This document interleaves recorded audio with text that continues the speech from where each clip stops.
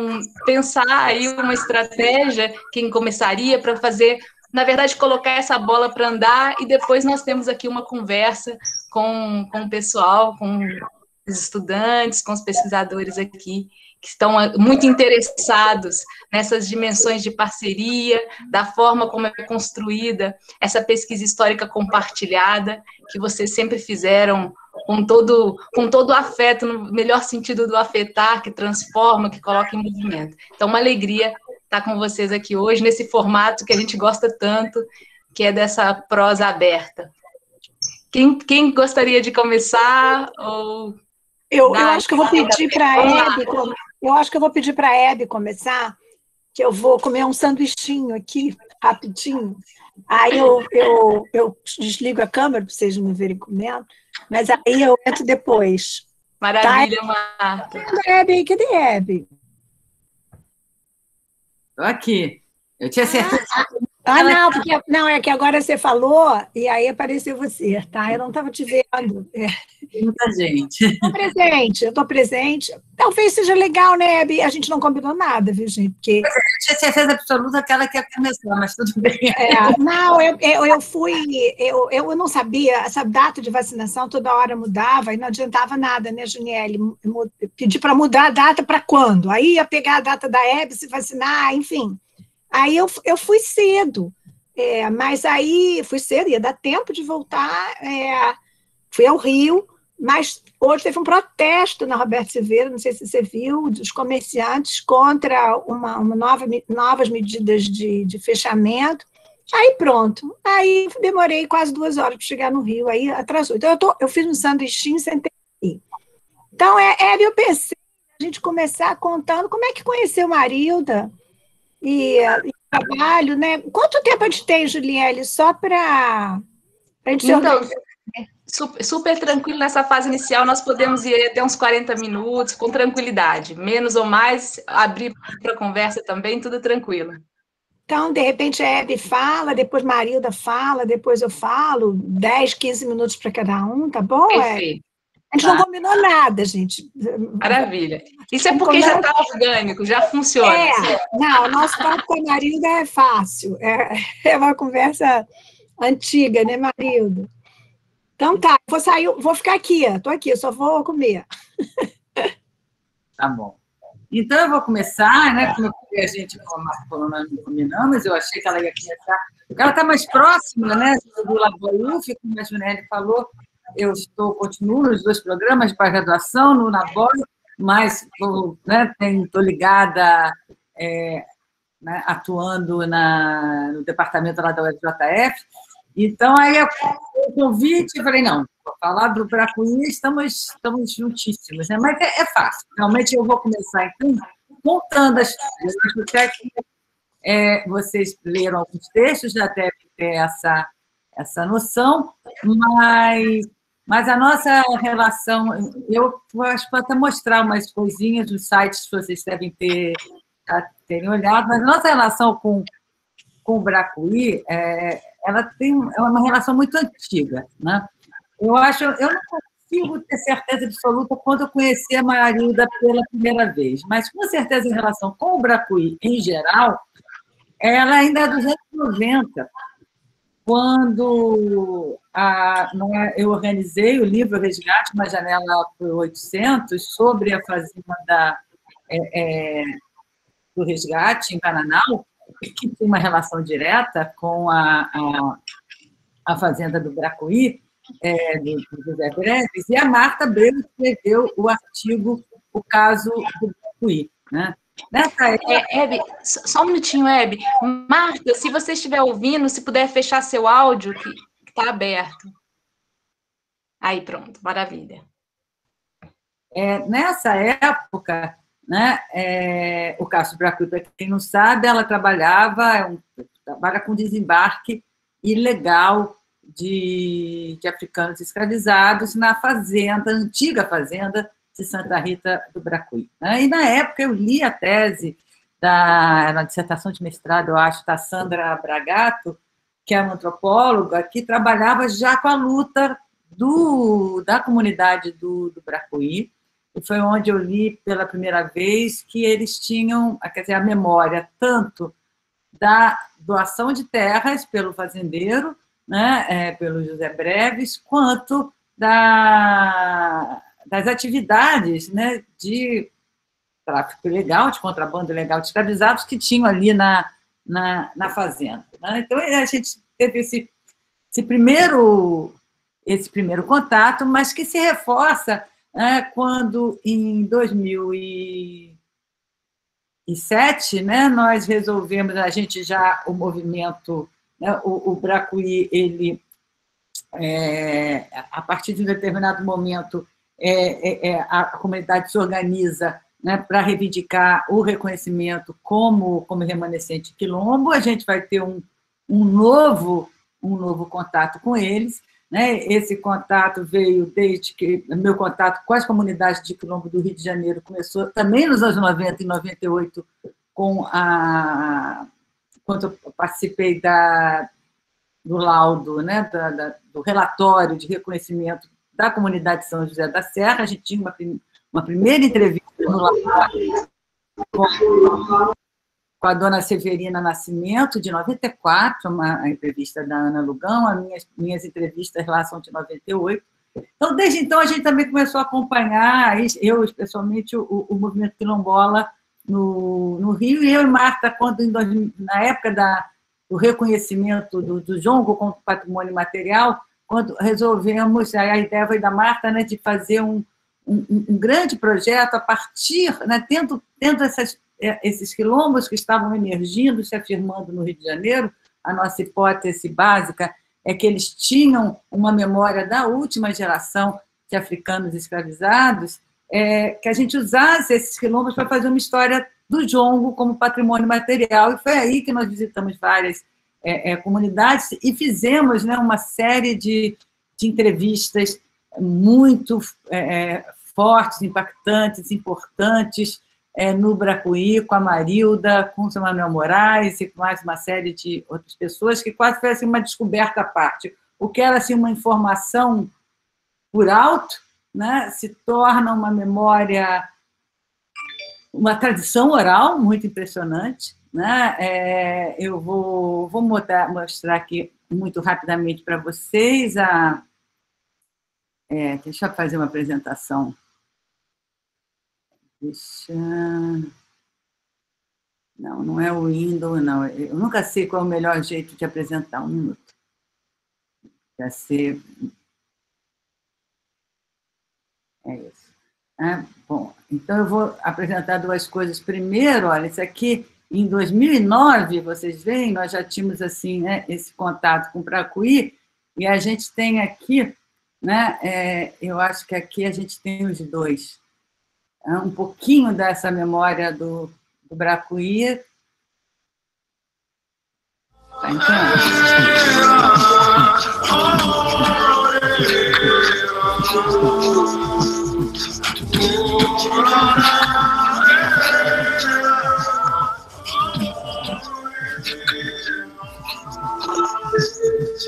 Antigamente, os escravos subiam quando saltava, que era um ponto de desembarque.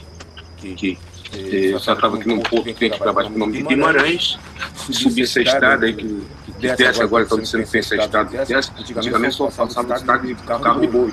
E o comendador do São Gabriel, que era nadador, faz contigo. E então ele passava. Então, então essa aqui é a estrada que seguia para cima, né? Aqui, Aqui é um ponto de, que existia também é, ali no de, de, de desembarque, é de engorde também, sabe? Tinha aí um, um lugar aí, que não posso dizer onde era, que é onde os escravos, quando chegavam, pelos tempos que eles viam no mar, eles não comiam bem, então pediam valor, ficava magro, emagrecido, ficava batido, então ficava sem valor. Então eles escondiam por aqui, não sei onde aí, né? Passava ali uns 20 dias. Aí eles ficavam lá em Marambaia para engordar, para de lá trazer para os seus lugares, né? Um bocado ia para Ilha Grande, né? Um bocado vinha para cá. Na Ilha Grande também tinha um ponto de engorda, como eu falava. Bom, é, deixa eu parar, parei a apresentação. Vou fazer uma outra daqui a pouco. Bom, essa, né, então essa memória, ela, isso resultou né, num, num filme, uma série de reflexões que nós fizemos, e num contato com essa pessoa fantástica, essa liderança maravilhosa, o que a gente aprendeu com a Marilda desde então, e ela já deu entrevista para várias teses, ela é personagem de uma série de trabalhos acadêmicos, ela tem uma entrevista no site Global Feminismo da, da, do, da Universidade de Michigan, e, e depois nós fizemos um outro projeto juntas, né, é, que foi o projeto Passados Presentes, eu vou mostrar aqui rapidinho, é, que aí foi muito forte, que foi quando a gente é, é, teve a ideia de um pouco contar a história de tudo que a gente tinha descoberto, junto, né, de construindo lugares de memória nas comunidades quilombolas, um deles na, no, no, no quilombo do Pracuí, na, na, na, no quintal da Marilda, né, que é assim o lugar de referência do quilombo. Eu vou colocar aqui. Hebe, querida, quando você colocar, você pode desativar, desativar seu áudio para que não dê eco, por favor? Tá, tá, obrigada. É, cadê? Tá aqui. Então, esse é o site é, do, do Projeto Passado Presente, que, na verdade, é, a ideia é um circuito né, que conta a história a partir da memória das atuais comunidades da última geração de africanos escravizados e depois da, da liberdade, da, pós-abolição, né, que começa, então, né, com a chegada no Valongo, com o fechamento do Valongo a, a, a continuada da, da, entrada no Bracuí, a migração para as fazendas de café, que o Quilombo São José é um exemplo, e depois as migrações de volta para as cidades, como Pinheiral e a Pequena África, no Rio de Janeiro. Esse é o circuito como um todo.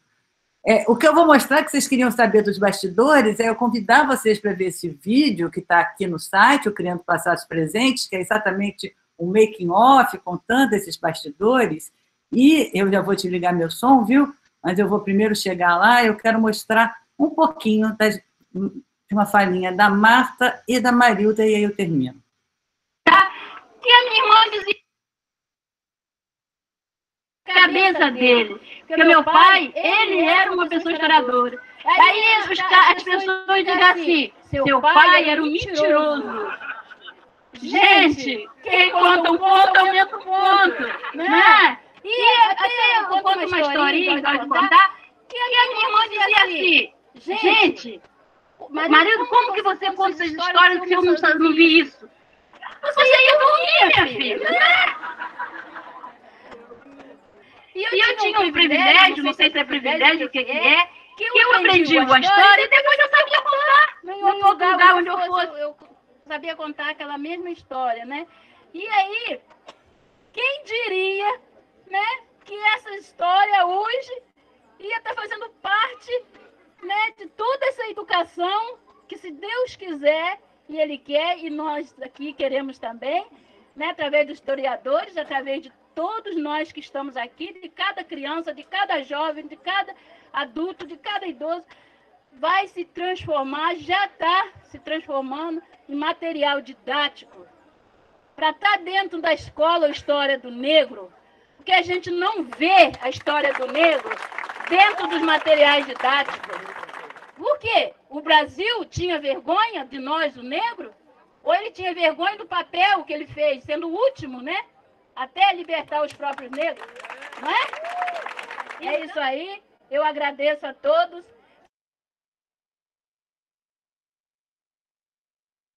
Voltando aqui meu som, eu queria ouvir, pegar aqui vocês ainda estão vendo, né? Eu quero ver se eu volto aqui, se eu acho. Pera, pera.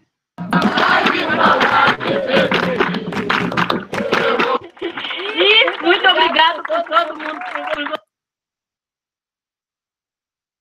Que era uma pessoa historiadora. E dois batedores. Que guarda a memória.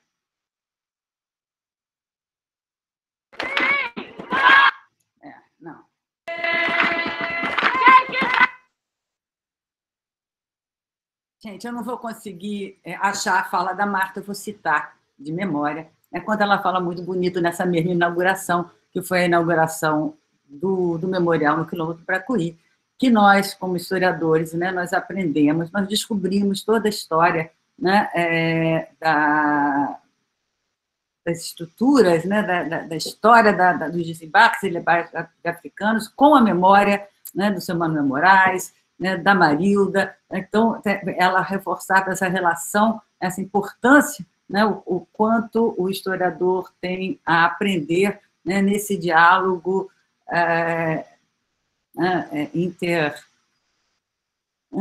nesse diálogo epistêmico mesmo, né? onde a gente aprende, mas a gente ensina muito e a gente principalmente cria conhecimento junto. Eu acho que essa foi a nossa experiência, tem sido a nossa experiência, sobretudo com, com o Bracuí e com a Marilda em especial. Tá? É isso. Deixa eu passo aí a palavra para as minhas colegas.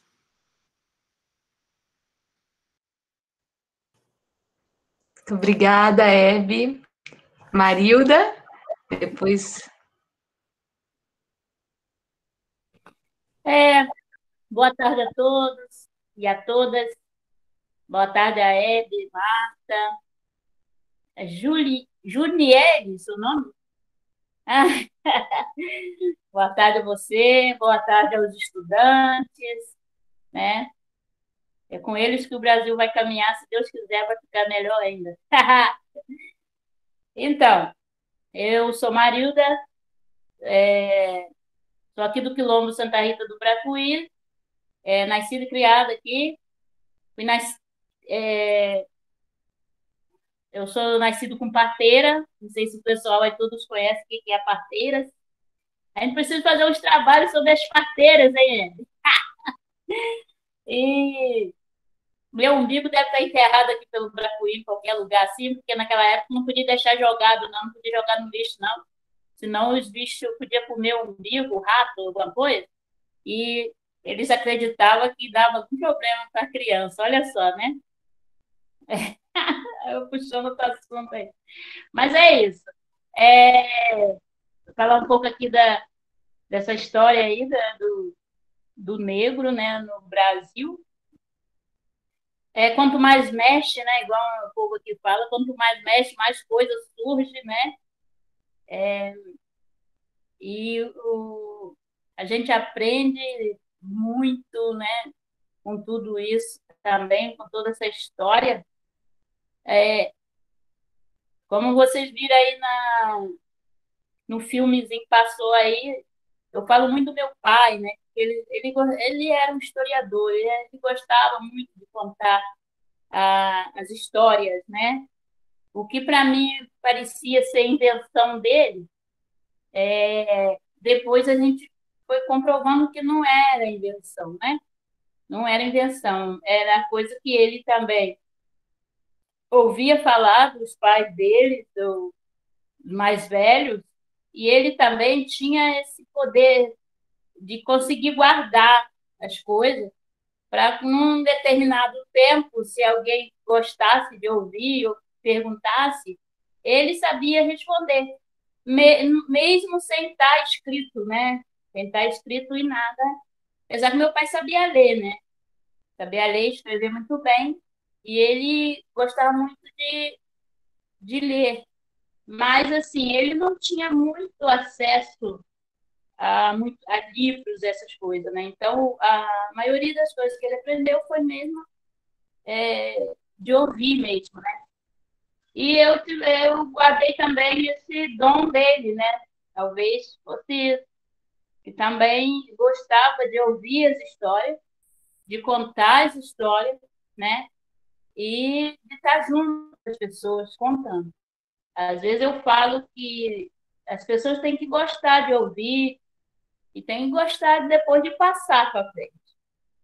Então, quando eu recebo as turmas aqui, que a gente agora por causa da pandemia está parado, mas antes a gente recebia a, a turma né, de universitário, de pessoas do ensino médio, escola comum mesmo, tá, os pequenininhos. Então, a gente aprendeu muito como falar um pouco diferenciado para cada parte dessa, dessas pessoas, né? E quando a turma chega, os jovens, eu procuro deixar à vontade, né? É, não sou muito de ficar com uma história muito pesada, né? Vocês podem ver que é o meu jeito de ser. Eu conto a história do quilombo, do povo negro, sem muito assim interiorizar, né? Ficar é, se lamentando como uma lamentação. Eu procuro contar a história do povo negro com mais leveza, né? Porque às vezes os alunos já vêm de uma longa, de um longo estudo, né? E história não é fácil. Eu sempre gostei de história, mas histórias às vezes a, os temas são muito longos, né? E, e cansativo. Então, para esse não, não ter esse cansaço assim, né? eu vou colocando uma brincadeirinha no meio, uma piada, sei lá o quê, dando uma risada assim, né? Soltando alguma coisa para alguém é, tá perguntando já, tá cortando mesmo, para que é para manter acordado às vezes as pessoas também, né? Que senão é uma, vai virar uma história de milagre. E aí, então eu paro, eu dou, faço isso principalmente com os adolescentes, né, que às vezes não está nem aí para que eu vou ouvir isso, né, mas é, com os outros todos também eu faço isso, né, é da, da questão do quando vem no, no Bracuí para aprender, ouvir, né, nossas é, história local. Eu, eu digo que eu sou uma historiadora da história local do Bracuí, somente, né? Dizer assim, não, não me atrevo a expandir muito, não, né? Apesar disso, mas mesmo assim, a história faz parte de Angra, que faz parte do Rio, que faz parte do Brasil, que faz parte do mundo, né? Então, é, é... mas eu sou, eu me foco mais na história local. Né? Ah, quando as, os jovens chegam, a, o grupo chega, a gente já começa com o café da manhã, né? Que é um café quilombola, que parece mais um almoço, né? E aí tem a contação de história, as trilhas, né? É, o banho de cachoeira, né? Tem que ter. E, e aí a gente vai falar da, de tudo isso, do, do quilombo. E aí, almoço, né, que é sempre uma comida do lugar, né, a gente oferece, é, oferece sempre a, a, comida do lugar.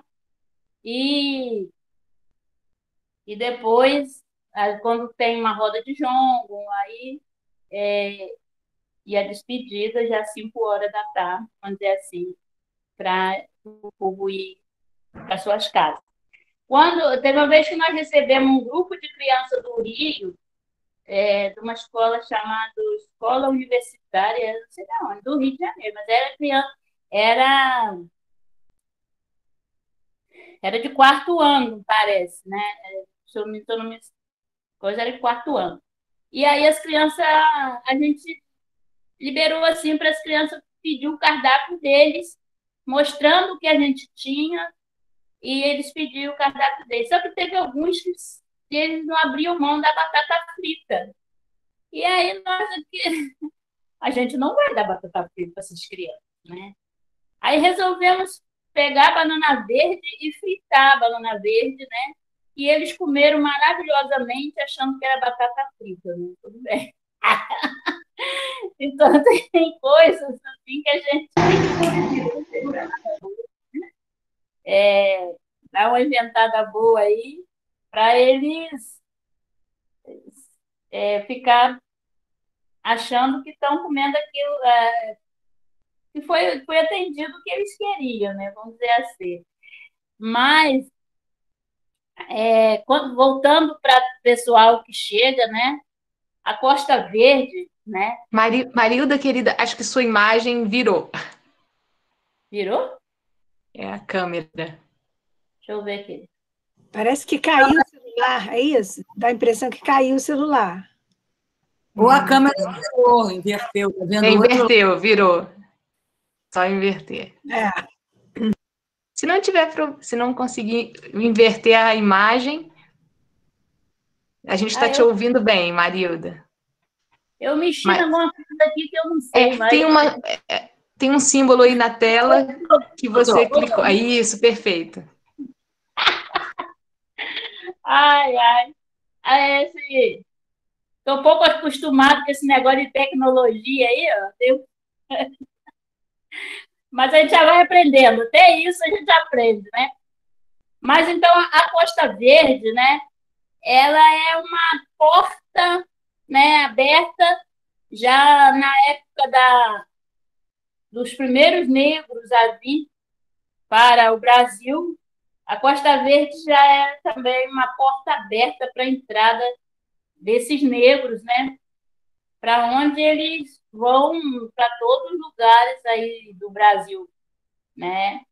E aí entra a história da, da, desse José Breve, né? Que era o José Breve, que era o grande patriarca aí da, da escravidão, para trazer os negros né, da África para cá. E ele, Costa Verde, continua sendo. Aí já não é uma portinha, um portão escancarado de pessoas, né, para ser escravizada uh, no Brasil.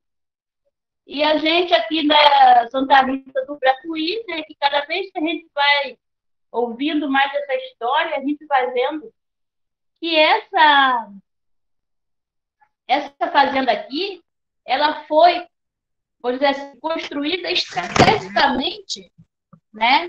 Ela foi, agora o celular caiu mesmo.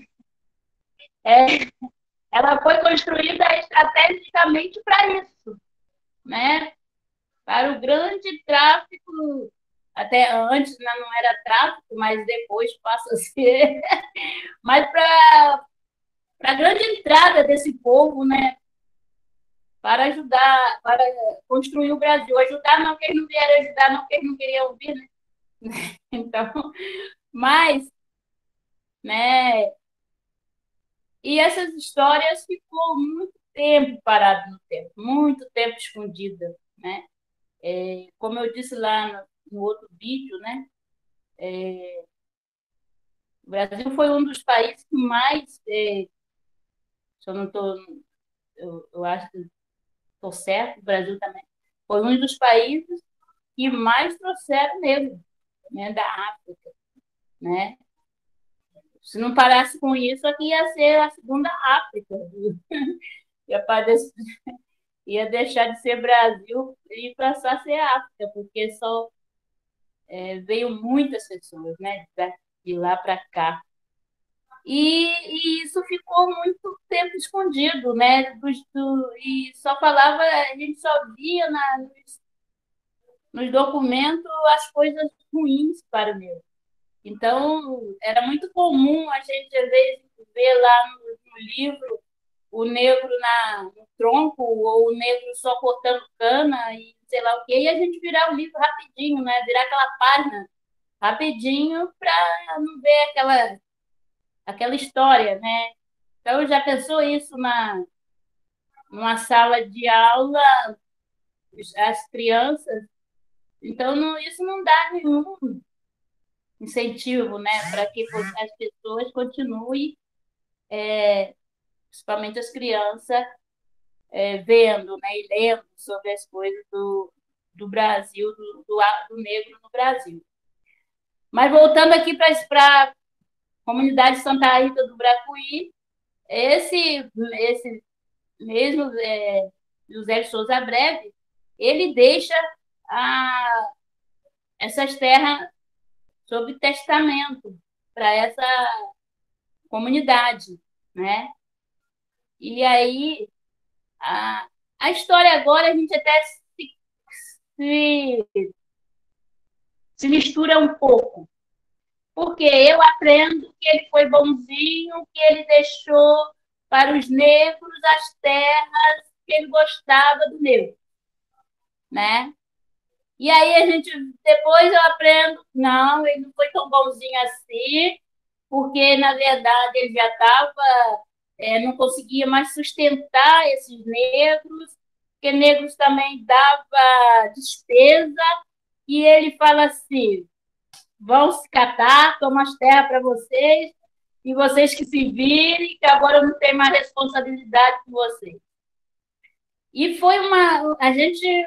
Foi uma mistura danada de, de coisas, né? Agora, os novos, mais novos assim que eu, eles já dizem que os próprios negros já estavam fazendo suas lutas, suas revoluções, e ele não teve como, não se, ele, ele, ele teve que deixar as terras para esses negros porque outros, outros fazendeiros não deixaram, porque é, né, nem todos os negros estavam mais estavam lutando por aquilo. E o, e o negro do Bracuí, que eles tinham suas casas, eles tinham suas roças, eles tinham não sei o quê. Tanto que isso pode ser verdade, que isso é verdade, que tem histórias que eles que o, o, os pessoal antigos diziam que ele, eles estavam nas suas casas quando chegava muitas pessoas de tarde, né? E descansava ali nas casas daqueles negros que moravam na fazenda. E é, quando chegava de manhãzinha, o, quer dizer assim, eu acho que isso falando era o avô do meu pai, ou devia ser o avô do pai, meu, meu pai. E eles não, quando eles eram criança, né, eles não viam mais ninguém ali.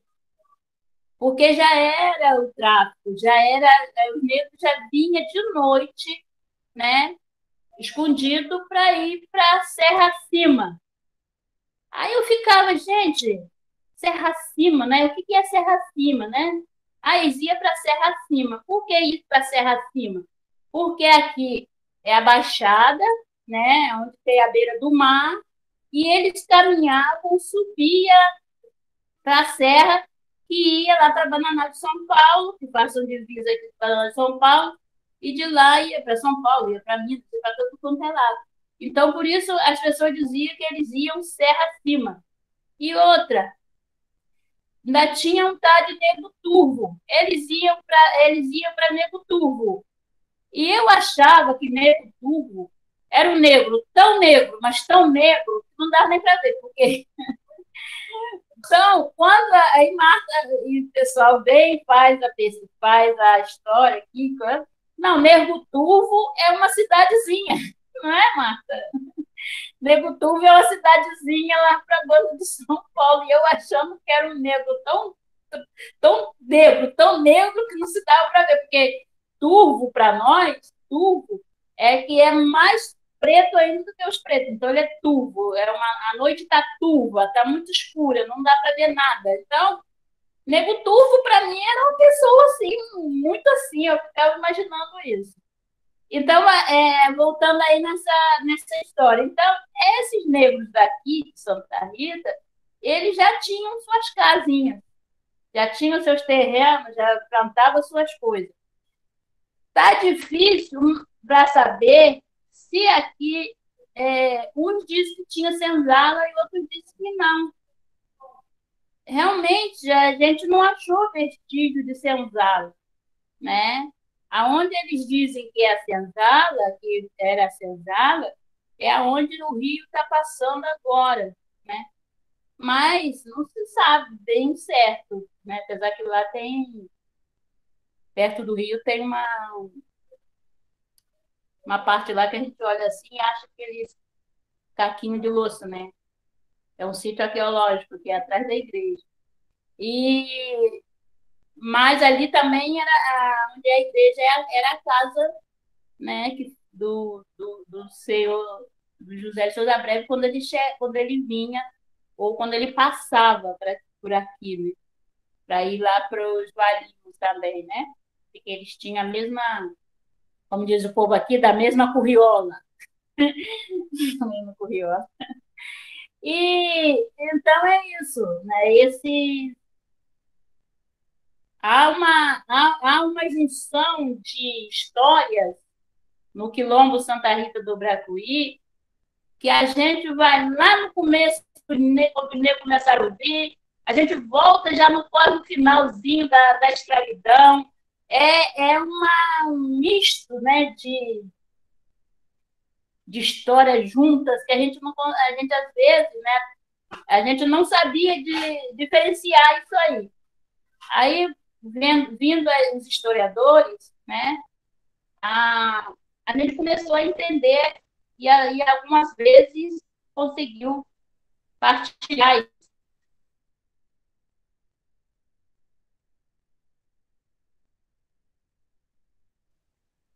E acho que Marilda caiu. Congelou, pelo menos. Congelou. Ela congelou. A conexão lá, às vezes, ótima conexão, né? Tá excelente. Tá, tava super bom. Ah, e ela tava com uma imagem boa também. Congelou.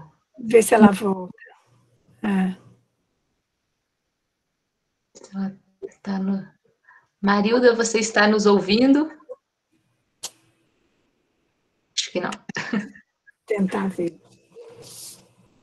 Bom, eu posso começar. É, talvez, Marta, se você puder. Aí, gente, quando ela conseguir, ela a gente. Voltar, eu vou mandar uma mensagem para ela, ela entrar de novo. Uhum. Vocês tiveram um gostinho, né, do que é. Maravilhosa. Alguém, alguém postou, né? Alguém colocou ali no chat, não é? Que droga essa pandemia, né? que não dá para a gente ir lá ouvir essas histórias da beira do rio. E é, vocês tiveram um gostinho do que é ouvir as histórias da Marilda, né? E, e são assim de uma força, de uma força narrativa, de uma força política, de uma força identitária é, e, e, de um envolvimento, que é o que a gente diz né, num dos textos que vocês leram, a importância de, de ter contato com, com pessoas né, como Marilda, é, que tem muita história para contar, que tem muita vivência de luta, que tem uma performance, e ela nem falou do jongo, da importância do jongo, da folia de reis, é, aí voltou. O microfone está fechado. Acho que foi a internet aqui que deve ter dado Deu um pico, deu um pico. Palavra sua de novo. Eu tinha começado a falar, mas já. Aí, então, essa, esse engenho de cachaça, né? Ele, o, o breve já, já usava essa, é, esse água ardente como moeda de troca, né? Para ir buscar mesmo lá na África, essa é, segunda, essa é a história aí, que a gente também, né, até sabia que, que ele fabricava cachaça e que vendia, que vendia, é, o pessoal mais antigo falava. Mas, assim, não sabia que era, ela, ela, ela era uma moeda de troca, né, para comprar esses livros, muitas vezes. Nós temos também aqui um dos, dos navios, né, que é o Brigue de Camargo, é, a gente sabia da história do Drive Camargo, que foi o, o, ele veio, não aportou, né? Ele não chegou à terra. O pessoal dizia que ele não tinha chegado no porto do, Guimarães, parece, né? E quando, como já era, já estava, não podia mais trazer negros para ser escravizado, e foi também um, esse foi um tráfico também, né? Vinha contrabandeado esses negros, vamos dizer assim. A, a Marinha bateu em cima, acho que foi Marinha, sei lá, foi. E, e o que acontece? O capitão afunda o barco com, os, com as pessoas dentro, com os negros dentro. É, esse, esse navio era um navio tumbeiro, onde vinha pessoas deitadas, né, dentro lá no fundo. Isso tá, não sei se está bem comprovado isso, era mesmo, mas e morreu muitos negros e eram negros mais jovens, né, homens, maioria homens e jovens. E, e hoje, né, como até, houve essa, a gente sabe conhecia esse esse negócio, esse problema do navio, não sabíamos o nome, né, dele é, contava a história só do, do navio que, tava, que afundou ah, na Baía da Ilha Grande, perto do, da, dos lugares aqui e tal, mas não sabíamos o nome. E aí, quando o pessoal da, é, vem fazer a pesquisa, Marta Abreu, é, e a outra moça que faleceu, né? Ela, ele, ele fala, aí fala o nome, porque tinha um jornal, tinha tudo isso, saiu não, né? Foi, teve repercussão e muitas outras coisas. E aí ele, esse navio é, que foi afundado, algumas pessoas que estavam uh, não estavam lá deitados naquele, naquela cuba, sei lá o quê, eles, alguns se salvaram, né? E aí Marta e Ed traz o nome de todas as pessoas, né, que hoje tem lá na placa de memória do Bracuí, da, lá da, aqui no Quilombo, né? E, e para nós foi muito assim, uma, gratificante, né, de ver, né, não, é, é claro, é triste isso, é triste, mas ver que aquilo é, foi realidade tem, né, o nome. Então hoje a gente chega lá, né, o pessoal fala os nomes do dia, né, para as pessoas. E eu gosto muito de fazer uma brincadeira com as crianças. É como se eu trocasse elas, o nome delas, né? O lugar de onde elas são. Eu pergunto onde, qual o seu bairro? Ah, eu sou do bairro tal. Então, hoje você não vai ser mais do bairro tal, você vai ser aqui do Bracuí, seu nome vai ser tal, e eu vou te levar para um outro lugar, trocando tudo. Aí as crianças entram no. Automaticamente, eles entram naquela história, né? Como que pode? Uma pessoa nasce lá no outro, em outro continente, sai de lá sem o seu próprio nome, chega num outro lugar, né? É, com outro nome totalmente trocado, os costumes diferentes, tudo diferente, e é obrigado a ficar, né? Então, eles, eles conseguem é, é, se, se, vamos dizer assim, se transportar para aquela época e conseguem, até eles falam, né, muitas coisas. Não, tia, isso eu não queria, que não sei o quê, que eu vi que é mexe. Então, a gente brinca assim, né, com as crianças os mais novos. E aí o, o a, a exposição lá, Memória e História, é muito gratificante nesse, nesse sentido também, né? Da gente estar tá conseguindo passar para as pessoas que vêm é, ver a história mais leveza, ver a história mais se, se, se transportando mesmo aquela para que ele viver com, aquela, com aquele tempo. E, e é isso. Se eu, posso continuar falando? Ou paro? Senão, quando esses, esses alunos vierem aqui, já vão saber de tudo.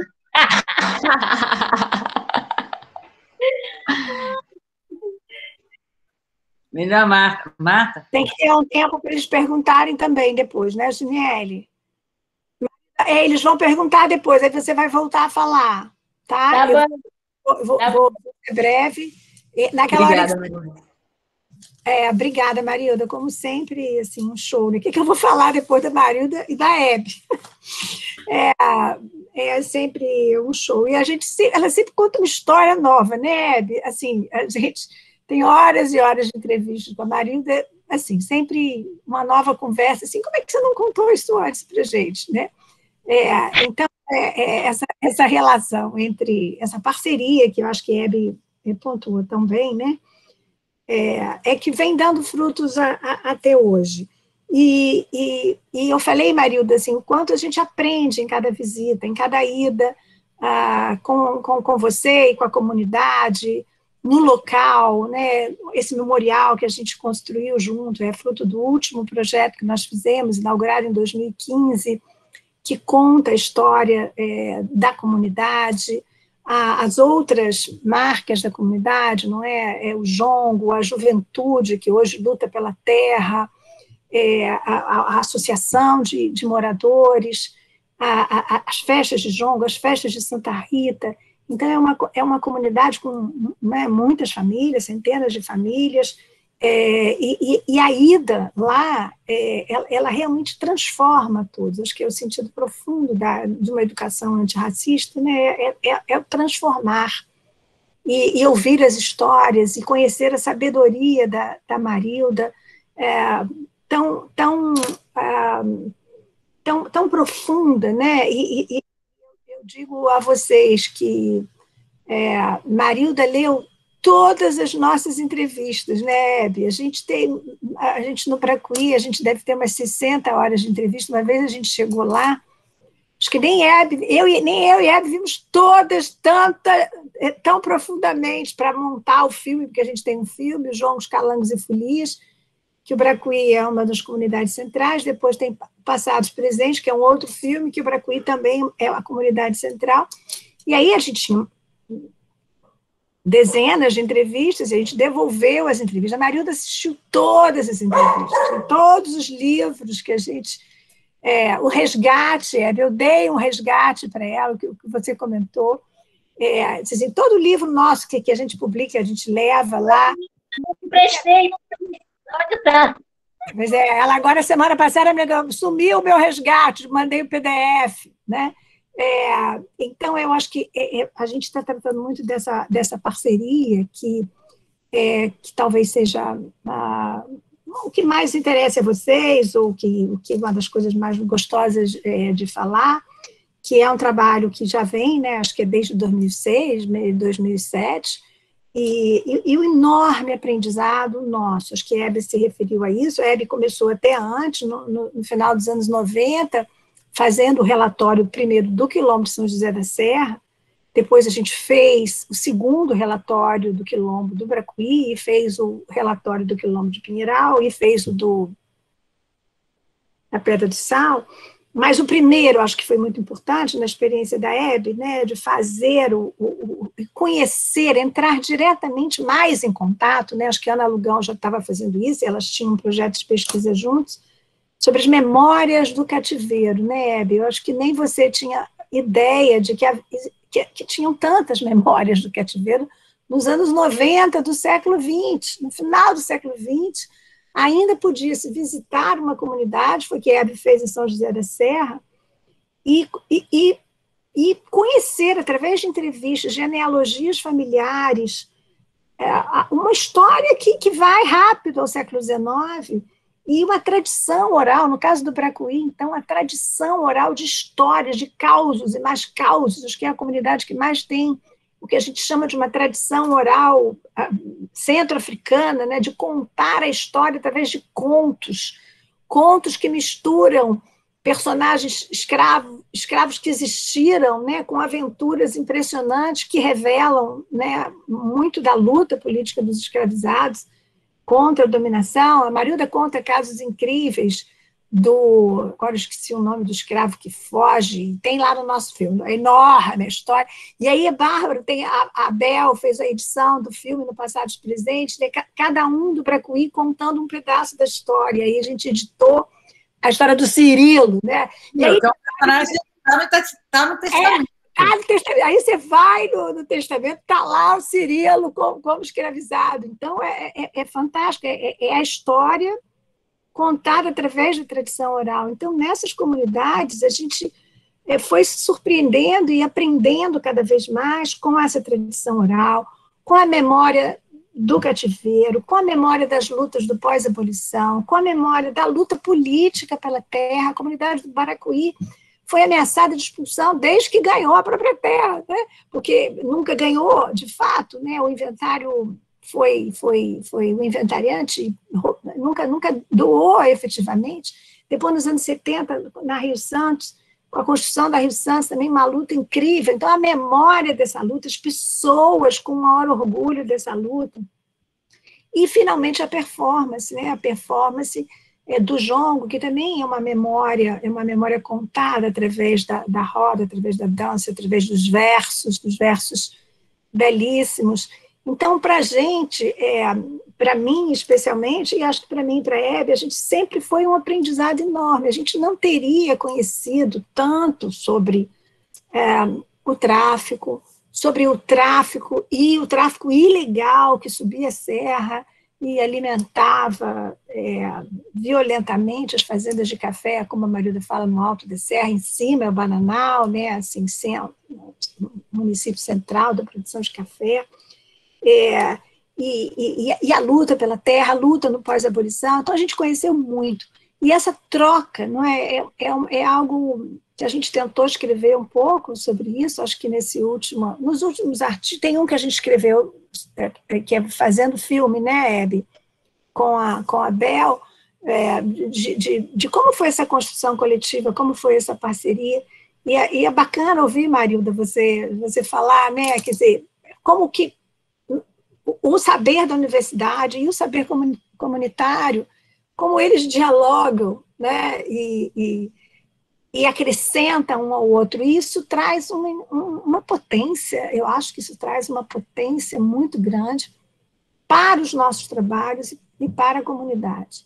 E hoje, que como a Hebe falou, a, a comunidade, é, hoje, né, ela é muito visitada, a Marilda é conhecida internacionalmente, eu me lembro, Marilda, uma das visitas que você fez uma coisa incrível. Você fez uma roda com os alunos todos quando chegaram e botou no centro da roda todas as teses e livros sobre a comunidade. Né? Foi assim, foi, aquilo foi incrível. Eu nunca me esqueço dessa performance, são performance, né? E ainda reclamou porque não estava tudo ali, porque tem muita gente que vai lá e não devolve, né? E não traz de volta a tese, o livro ou o filme. Né? Então, é, é sempre bom falar com o Marilda, é um enorme. É, é, é um. Né, é, é assim, é muito, muito forte isso para a gente. Como que história, memória, memória, história, tradição oral, performance, e podem caminhar junto, aquilo que eu falo até no filme. Né? Eu me lembro, Marilda, só para terminar, e aí eu encerro para dar tempo de outras conversas. Eu me lembro um dia que eu cheguei com os alunos lá, um calor, calma, e quente às vezes, né, marido? Aí os alunos olhando aquele rio, né, todo mundo logo para o rio, eu também logo para o rio, e o rio é lindo do Bracuí. Aí a marido, ah, então vamos lá para o rio, a gente, a gente fala lá do Bracuí, lá dentro do rio. Então foi incrível, o marido sentado no rio, todos nós em volta, ouvindo as histórias dentro do rio. É, obrigada, Marilda. Ai, que maravilha. Nossa, gente, uma honra. Marilda, abre, abre o microfone. Só, os alunos falaram que é a melhor sala de aula. Não existe outra. Maravilha, eu também acho. Inclusive, é isso, assim, né? Três mulheres maravilhosas trazendo as experiências e Marilda trazendo muito disso, né? Que eu venho também conversando um pouco aqui com o pessoal desse, dessa aprendizagem que passa pelo corpo, né? E essas imagens, elas são catalisadoras, né? Pensar nesse rio, pensar nessa comida, pensar nesse sentido gregário mesmo, principalmente nesses tempos de pandemia, quanto isso é fundamental para a gente. Então, é um pouco nesse sentido também que eu queria, eu vou passar para os debatedores que querem fazer as perguntas, mas eu queria dizer isso, assim, o quanto que acompanho com uma admiração imensa essa parceria, porque, primeiro, o que tem de respeito aí nessa relação, né, é Marilda, Hebe, Marta e todos os pesquisadores que estão no, envolvidos no projeto, em cada frente desse projeto, é um projeto muito amplo, que já reverberou e as ressonâncias são importantíssimas para a historiografia, mas o quanto que existe uma escuta sensível e, ao mesmo tempo, a circularidade do saber, né? Essa coisa que vai e volta, e a gente vai percebendo o, o, efetivamente o que a gente chama do encontro de saberes. Então, estou muito feliz desse encontro de saberes aqui, que é o que a história pública que a gente acredita, que é fazer com, que é uma história participativa, uma história compartilhada, e, e ao mesmo tempo saber que nós podemos falar e que temos essa, essa, esse acolhimento mesmo, assim, né? Tanto no Quilombo do Bracuí, quantos pesquisadores já estiveram lá e foram recepcionados, recebidos pela Marilda, quantos alunos das escolas, né, Niterói, Rio, ensino básico, que estiveram lá, o quanto que é importante o Quilombo do Bracuí para a formação de professores de história. Então, eu não, não queria também dissociar dessa dimensão do ensino, tão importante, claro que também da extensão e da divulgação, mas a questão do ensino de história, e é muito lindo ver a Marilda, que nós consideramos aí uma historiadora pública no melhor sentido do termo, né, dessa figura que está ali diretamente nos embates e na, na relação com a comunidade, nesses tempos principalmente, então é uma alegria estar aqui. Muito obrigada, Marilda, Hebe, Marta, e vou passar para os debatedores. Quem pode começar? É só abrir o microfone, gente. Eu? Pode ser? Sim, Luiz, maravilha. Ah, tá. É, boa tarde, pessoal. Quero agradecer pela fala da, das três convidadas, a Hebe, a Marta, a Marilda. É, dizer que é um prazer é, estar nesse espaço aqui com vocês. É muito importante a fala. É, da Marilda também fiquei bem sensibilizado. É, muito obrigado mesmo. E faz a gente refletir sobre, sobre a importância né, de, de, dar importância aos saberes passados de pai para filho, né, e da, da, memória, principalmente. E também queria dizer que, que fiquei feliz em lembrar que eu já tinha visto um trabalho do Laboy, muito antes de cursar o mestrado, até mesmo de saber o que, o que é o Laboy. Né. É a professora Ivana Stouze, lá da PUC, passou o filme Jongos, Calangos e Folias, e que me ajudou muito na minha monografia sobre rap. Né. E essa musicalidade, ela tá numa mesma árvore genealógica, então assim, foi uma surpresa muito boa para mim. É, mas, na, enfim, né, a pergunta em si, ela vai mais no sentido da, da questão da, da Fundação Palmares, que eu li no texto que ela tem uma importância central né, nesse reconhecimento das terras e no reconhecimento da cultura afro, né, como patrimônio cultural. E esse órgão, né, tão importante hoje, ele está presidido pelo Sérgio Camargo e tudo mais, não sei qual a posição de vocês sobre isso, mas eu gostaria de saber como tem sido a política da Fundação é, em relação às comunidades enfim, os quilombos, né, as comunidades do jongo e tal, que, que lutam pelo seu reconhecimento como patrimônio e pela posse da terra. É, se se manteve a mesma das gestões anteriores, se está mais conflituosa, se está mais difícil, ou se as coisas estão avançando mesmo assim. É, essa pergunta que eu queria fazer. Obrigado. Valeu, Luiz. É, quem mais? Olá, boa tarde. Natália Fernandes. É, primeiramente, agradecer à professora Juniele pela oportunidade da gente fazer esse debate com, né, com as autoras e os autores dos textos, textos tão pertinentes para as nossas pesquisas e para a nossa reflexão a respeito da história, do ensino de história, do produzir história. E agradecer também né, a fala das professoras Hebe Matos, Marta Abreu e a fala da Marilda. É, a Hebe e a Marta, elas são professoras que fizer, foram muito importantes na minha constituição enquanto historiadora, enquanto professora de história. Tiveram um envolvimento muito importante também com a escolha do meu objeto de estudo, que me acompanha desde a graduação. Então, é sempre uma felicidade, assim, né, ter essa oportunidade de refletir sobre questões tão pertinentes. Eu escrevi para não ficar muito né, solta e eu a minha uma das minhas questões tem relação com o que o Luiz trouxe também né? E aí eu vou ler só para a gente tentar organizar um pouco mais. É, os textos propostos para o encontro de hoje possibilitam uma reflexão acerca da importância da legislação para que nós, seja enquanto professores, seja enquanto historiadores, possamos fundamentar a nossa atuação antirracista. No caso da luta pelos direitos territoriais das comunidades quilombolas, o artigo 68 do Ato das Disposições Constitucionais Transitórias da Constituição Brasileira de 88 que reconhece a propriedade definitiva das terras ocupadas pelas comunidades, e o Decreto 4.887, de 2003, que estabelece a caracterização de comunidade quilombola, é, que estabelece que a caracterização de comunidade quilombola se dá por critérios de autodefinição, são fundamentais. São eles que permitem a ação conjunta entre acadêmicos e quilombolas de efetivar essas políticas públicas e assegurar direitos. Tendo isso em vista, gostaria de fazer três reflexões.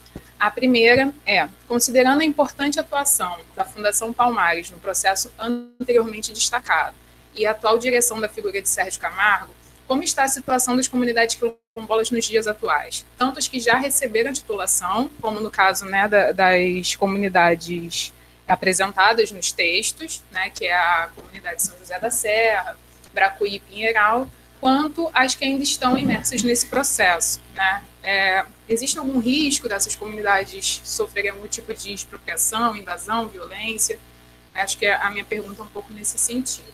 A segunda reflexão é a seguinte: se, no contexto do início dos anos 2000, a atuação do historiador consistia na elaboração de relatórios técnicos e na construção colaborativa de uma contranarrativa da escravidão, qual seria a atuação do historiador nesse contexto atual? Né, uma, uma questão, uma reflexão fundamentada, dialogando com a primeira. E a terceira é a seguinte: Antônio Nascimento Fernandes, uma das lideranças da comunidade São José da Serra, afirmou: o jongo não canta sozinho e não dança sozinho, precisa de um grupo. Tendo em vista o importante papel dos filhos e netos de africanos escravizados no processo de patrimonialização do jongo e refletindo sobre a importância da união e da oralidade nas comunidades quilombolas, qual seria o papel da juventude quilombola nos dias de hoje? Seriam essas três né, questões que eu trago para a gente debater um pouco. Obrigada, Natália. É, queríamos ouvir também os comentários dos outros debatedores. É, eu ia, eu ia falar, Maria, é, voltada nessa mesma perspectiva da Natália. É, os textos realmente eles foram importantes para mostrar para nós como que a construção histórica, né, de, como que essas garantias, essas leis que foram pautadas, voltadas para as comunidades tradicionais, o quanto elas sendo preconizadas no sentido de garantir esse direito, como que ao mesmo tempo essa luta que eles praticam tem que ser sempre constante e, e vigilante, né? Porque a todo momento eles estão sendo alvejados nesse sentido. E quando eu li o texto é, do, do, Jongo, que fala de como eles percebem que com é, a pesquisa, eles veem o quanto é importante elas serem descritas, narradas, historicizadas, porque para eles é uma prática comum, e quando chega o pesquisador, dialoga com eles, eles percebem o quanto que aquilo é história, né, e a Marilda começou a fala dela falando isso. Há muito, muito momento eu conversava com meu pai e eu percebi que o que ele fazia era história. E eu vejo muito disso é, lá na, no campus que eu trabalho, onde conversando isso com as minhas alunas, algumas chegam e falam, nossa, professora, a gente dança o lindô desde sempre, e agora que a gente está aqui na faculdade, que a gente está cursando história, a gente percebe que o quanto isso é importante, o quanto é, descrever, narrar sobre isso é fundamental. Eu quero falar sobre isso no meu TCC, quero a sua ajuda, e antes de vir para cá, né, de licença, essa aluna específica, ela teve que trancar a faculdade porque precisava se deslocar, tinha uma moto para se deslocar, houve aqueles cortes de bolsas, que foi bem na, naquele meado do governo Temer, e aí entra um pouco no que a, a Natália descreveu nas três etapas das perguntas dela, o quanto que é, essa regulamentação abre caminhos, né, para os quilombolas entender como que é, a preservação desse patrimônio, seja material ou imaterial, é importante para a construção da história coletiva deles, mas como que discutir atualmente, a partir desse processo pandêmico, como que a gente percebe que ao longo desses últimos anos o desmonte dificulta é, o acesso deles para a universidade e pela universidade,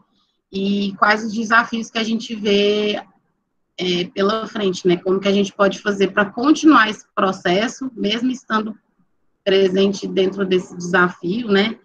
E o quanto, quando a gente entra no site da fundação mesmo, e eu fiz esse processo ao longo dos últimos semestres, e a gente vê que o primeiro texto da Marta, que foi publicado em 2003, 2005, ou da Marta não, da professora Eve, e hoje em dia a gente vai lá naquele mapa que é dinâmico no, site da fundação e a gente vê que hoje em dia, cada vez menos nos últimos anos, tem tendo menos certificações, menos visitas técnicas, invisibilizando essas comunidades, silenciando elas por meio da própria legislação, né? O quanto a gente percebe que em vários momentos o governo é, lá, né, que a gente sabe, a, a, últimas, nos últimos 13 anos, facilitou a promoção desse diálogo e como que nos últimos tempos isso vem sendo silenciado, né? Então, como tentar lutar é, realmente de forma é, enfim, difícil dentro desse processo, né? Como que a gente está nessa configuração de agora. É um pouco do que a Natália pediu na primeira parte mesmo. Valeu, Marina, muito obrigada. E para terminar, aqui os comentários, Rafael? Oi, boa tarde. Eu, antes de tudo, queria reafirmar o. Professora, queria reafirmar o agradecimento que feito pelos meus colegas, a professora Juniele, a professora Marta Hebe e a Marilda por propiciar esse debate, né? É, trazerem tantas questões importantes para a gente é, no momento da nossa formação e nesse momento político que a gente está vivendo, né? E eu queria é, fazer duas questões bem pontuais à Marilda. É, Marilda, eu sou de Recife, é, Pernambuco, continuo aqui por enquanto, é, nesses tempos de pandemia, inclusive é, minha mãe também nasceu de parteira, nasceu aqui, do lado da minha casa, aqui na casa, na casa da minha avó, teve um big enterrado aqui também, e é, me reconheci na sua história. É, marido, eu queria saber é, de você sobre esse processo que vem se construindo é, junto com a academia é, de reconhecimento da terra quilombola, de reconhecimento da importância do patrimônio. E se você consegue perceber dentro, e aí é uma, uma pergunta que caminha junto com a é, pergunta da Natália, se você consegue perceber é, na juventude da sua comunidade mudança, é, mudanças é, de perspectiva, de autoestima, de percepção de si, é, após esse é, processo todo de reconhecimento da comunidade. E uma segunda pergunta, se houver tempo, é, eu trabalho na no meu doutorado, já venho trabalhando também desde o mestrado com a questão religiosa, com as práticas tradicionais de terreiro. E o que eu venho percebendo, pelo menos aqui em Pernambuco, é, e eu sei que é um, movimento nacional, é o, os conflitos que vêm acontecendo é, é, dessas práticas tradicionais com todo esse movimento fundamentalista, religioso, é, de algumas vertentes protestantes. E são vertentes que, ela, que elas têm um, um, um, um impacto muito forte nas comunidades. E eu queria saber se na sua comunidade esse impacto também vem sendo sentido e se vem, é, vem havendo conflitos entre essas práticas tradicionais culturais que têm também o seu sua parte religiosa e essas é, práticas religiosas de algumas vertentes é, protestantes. É isso. Obrigado. Maravilha, Rafael. É, então eu passo a palavra aí para vocês. Nós temos aí mais 20 minutinhos para encerrar esse nosso tempo aqui, até porque para não ficar muito cansativo aí para as convidadas também. Então fiquem muito à vontade para ver quem quer começar. Pode manter a ordem, Marta? Marta é a chefa. Então, vou manter, porque eu começo é, falando um pouquinho das, das, primeiras as primeiras perguntas né, que tiveram ponto comum a Palmares, a questão da, da legislação, são perguntas que apontam para o futuro. Né? Isso é uma coisa que eu mesmo sinto quando leio é, meus artigos com Marta, né, é, escritos antes de 2016, quase todos escritos antes de 2016, eles têm um otimismo né? que, que envelheceu. Né? É, quase que a gente tem, tem que tudo, fazer um, um, um epílogozinho né? é, problematizando as perspectivas de futuro, né? que, que se tornaram realmente muito mais complicadas. Mas, ainda assim, eu queria chamar a atenção para algumas coisas. Né? A, o que foi conquistado não dependeu apenas né, de governos favoráveis, claro, que eles foram fundamentais, aliás, foram eleitos por causa dos movimentos e da força é, é, é de determinadas. É, é, chegam a ter um, sentido de consenso num determinado momento, né, mas a, a, o, o movimento quilombola, o movimento por ações afirmativas, eu acho que eles efetivamente têm algumas conquistas que não têm volta, vieram para ficar. Então, eu dou um exemplo né, a, a questão da autoidentificação é, foi um decreto presidencial né, do Lula de 2002, que ficou, foi questionado no STF. E, olha, até ele ser votado, até 2016, até ele ser votado em 2018, mas sobretudo até 2016, né, até a grande virada conservadora, é, era muito dividido lá no Supremo. Ninguém sabia exatamente se aquilo ia virar um direito constitucional mesmo ou seria derrubado por uma ala conservadora que tinha presença não só no Supremo, mas no próprio governo, que era um governo de coalizão, sempre havia muito conflito. Né? Eu quase diria que aquela vitória por unanimidade em 2018 é uma consequência da vitória do atual presidente, entendeu? O, o ataque à comunidade quilombolas foi de, ele começou já em 2016 com o governo Temer, concordo. Mas em 2018 a ameaça foi de tal maneira que produziu o efeito do Supremo fechou, pum, ninguém mexe mais. Então, hoje, você tem uma legislação muito favorável, principalmente a quem já foi é, reconhecido, ou titulados são pouquíssimos, né? porque, ao mesmo tempo, a, a, você tinha muitos reconhecidos, e esses reconhecimentos passavam pela atuação da Palmares, é, e pouquíssimos titulados, porque a titulação é um processo super complicado, não é só político, ele é jurídico, ele passa por, por direitos concorrentes, ah, são poucas comunidades que chegaram ao final desse processo. O que a gente vê agora, que eu acho que é a ameaça maior, é que, primeiro, que, como vocês já disseram, ninguém mais é reconhecido, a Palmares morreu e até a segunda ordem está morta, gente, quer dizer, está morta. Ela existe como instituição, mas enquanto tiver essa presidência, não se espere nada dela a não ser ataque. Por outro lado, é, como tem uma legislação que é, que é fato, quer dizer, quem. Então, você também não tem mais as políticas públicas para. Mesmo as políticas públicas para os grupos reconhecidos também estão razoavelmente ameaçadas. Mas quem está reconhecido, está reconhecido. Eu acho que esse é um ponto. Vocês vejam agora na vacinação, os quilombos foram tiveram é, primazia junto com as comunidades indígenas, apesar dos, dos ataques. E o que eu acho que é uma das ameaças maiores é que, por exemplo, eles começam a atuar de fazer políticas públicas, que aí vou pegar a frase do Tuninho que vocês citaram, né? ninguém, né? É, ninguém dança jongo junto, a gente não faz as coisas sozinhos é, é tentar fazer essas políticas em termos de, de, de privados, né, de auxílios privados para famílias, quer dizer, dividindo as comunidades. Eu acho que esse é, essa é a atuação mais perigosa. Eu vejo essa tendência desde o tempo do Temer, mas ela se acentuou agora. Então, as políticas públicas que aparecem, mas elas aparecem sempre querendo ir é, pular a associação, pular a discussão coletiva e ir direto na mão das famílias, o que tem um potencial de, de né, desarticular as comunidades. Então, é um risco, quer dizer, mas a, a história é um risco, viver é um risco, nós não estamos numa fase, nós estamos numa fase realmente muito, muito, muito difícil, né?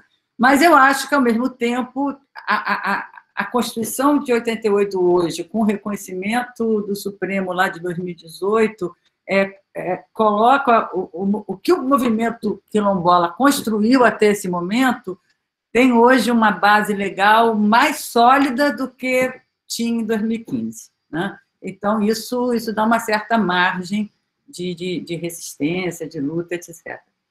É, eu vou deixar para a questão da, da, da, da, juventude, até o desafio para a universidade, para Marta e para Marilda, porque eu queria fazer um comentário que, é, que, eu acho super importante, mas tem um pouco a ver com o papel do, do historiador, mas esse trabalho do diálogo dos saberes, em função da, da fala da Marilda, é, o quanto eles trabalham né, a, a, ideia, e, e é um pouco pensar o historiador que trabalha com essas. Com, a gente trabalhar com uma história que nos diz respeito, né? Eu acho que esse é um tema muito forte. A história brasileira, ela é uma história de, de muita violência. A Marilda falou algumas vezes aqui, aqui, né? Você vê, só aparece, não é só a história do negro, não. Eu acho que a história do Brasil, de qualquer brasileiro, se vocês forem perceber, tirando assim umas construções, mesmo essas construções né, de uma família quatrocentona, hoje em dia já não é tão bom, porque o quatrocentão vai sair ali uma, um genocida de índio. Não sei se é bom ser descendente de genocida de índio, né? É, tudo tem uma... É, se você traz, a, a, a, quando a gente pensa né, esse, esse passado violento de uma maneira menos é, fantasiosa e traz para uma narrativa mais genealógica, a gente sempre passa em trabalhos muito difíceis. E esse trabalho de memória do Bracuí, da tradição oral, ele é, ele é, ele é absolutamente é uma joia para a gente pensar isso, e o jeito que a Marilda trabalha isso com as turmas, quando ela falou em leveza, falar uma história que ao mesmo tempo é tão difícil, ela falou pouco aqui do, do antagonista do José Breves, porque o, o, o José Breves, ele, até o cuidado que ela tem de usar a palavra tráfico, é uma coisa que eu também estou começando a falar mais de contrabando, comércio lucrativo, porque é claro que, é, é até para denunciar os fazendeiros que faziam isso na época, é, é, é, interessante lembrar essa palavra tráfico, que é uma palavra naturalizada no século XIX. No Capistrano de Abreu, ele fala tráfico, todo mundo sabe que é tráfico de, de escravos. Sabe o que isso quer dizer? que no século XIX todo mundo tinha consciência que aquilo é um, um contrabando, senão essa palavra não tinha pego do jeito que pegou. Mas a gente usar até hoje, quando a gente está contando a história na primeira pessoa, o traficado é o meu bisavô, tataravô, seja o que for, é, é, é, é uma coisa muito, muito dolorida. Quem é que quer ser descendente do, do traficado? Né?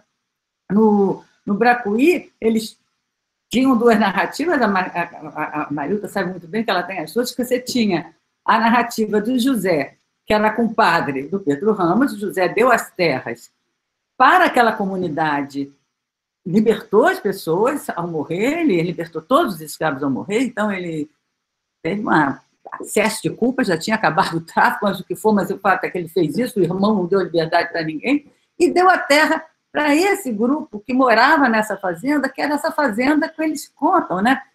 Era uma fazenda de chegada, uma porta de entrada, de recuperação das pessoas, e onde muita gente morria. Agora, as, as, as tradições, as, as, narrativas do horror passavam todas na fazenda vizinha, né, Marilda? Tudo era na fazenda do Pedro Ramos. O dia que nós juntamos na exposição o testamento do Breves com a foto da fazenda vizinha, e os dois eram compadres, a Marilda sabe, diz isso o tempo todo, ela falou assim, mas, não, peraí, a gente não quer essa foto aqui, porque esse testamento somos nós, esse aqui é o que é o que as pessoas, onde as pessoas morriam, onde as pessoas.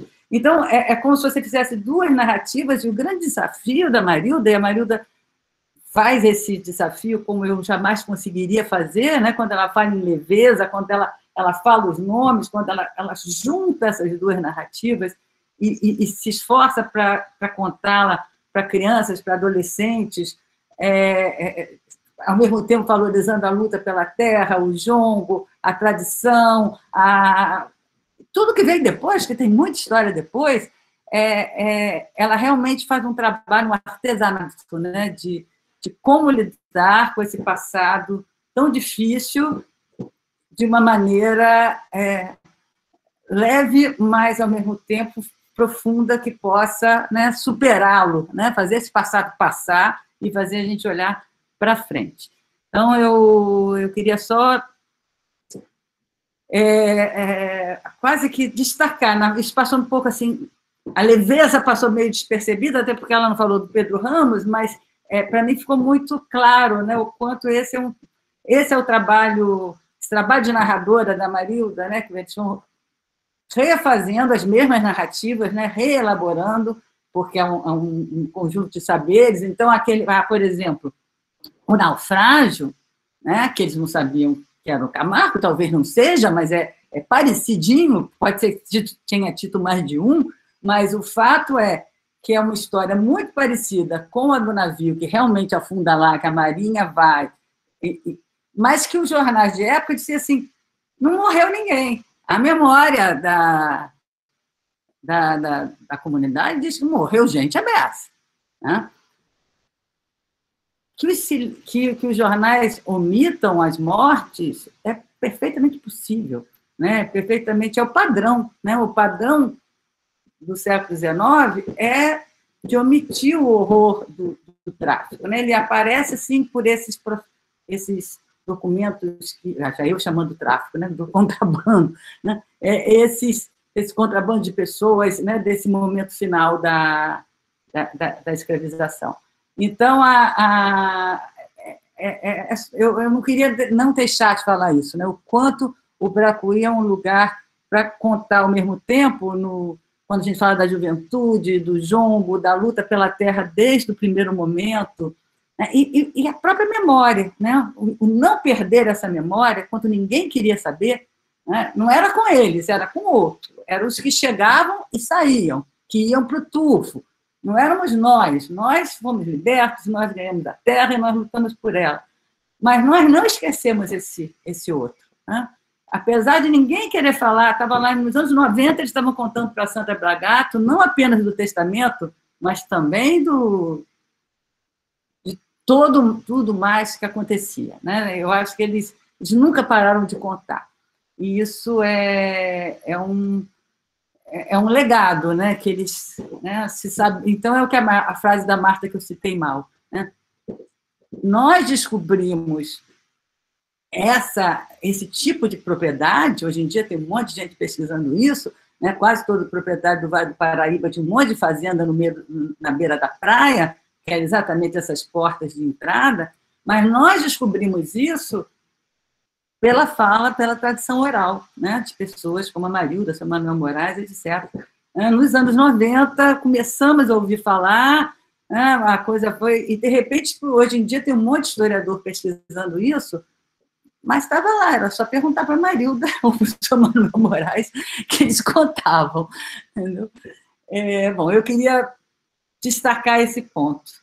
E aí eu vou deixar as outras perguntas, eu acho que Marta e Marilda... Marilda, Marilda agora responde também, mas eu queria só comentar, Marilda, só um minutinho, eu queria comentar um fato muito incrível da nossa relação, nossa já longa relação, quando gente, o memorial estava pronto, gente, uhum. aí a Marilda não queria que aparecesse a imagem do casarão da fazenda do Grataú, que a, a Hebe se referiu à fazenda do Pedro Ramos, que era o senhor mal, tudo que é de ruim acontecia na Fazenda Grataú.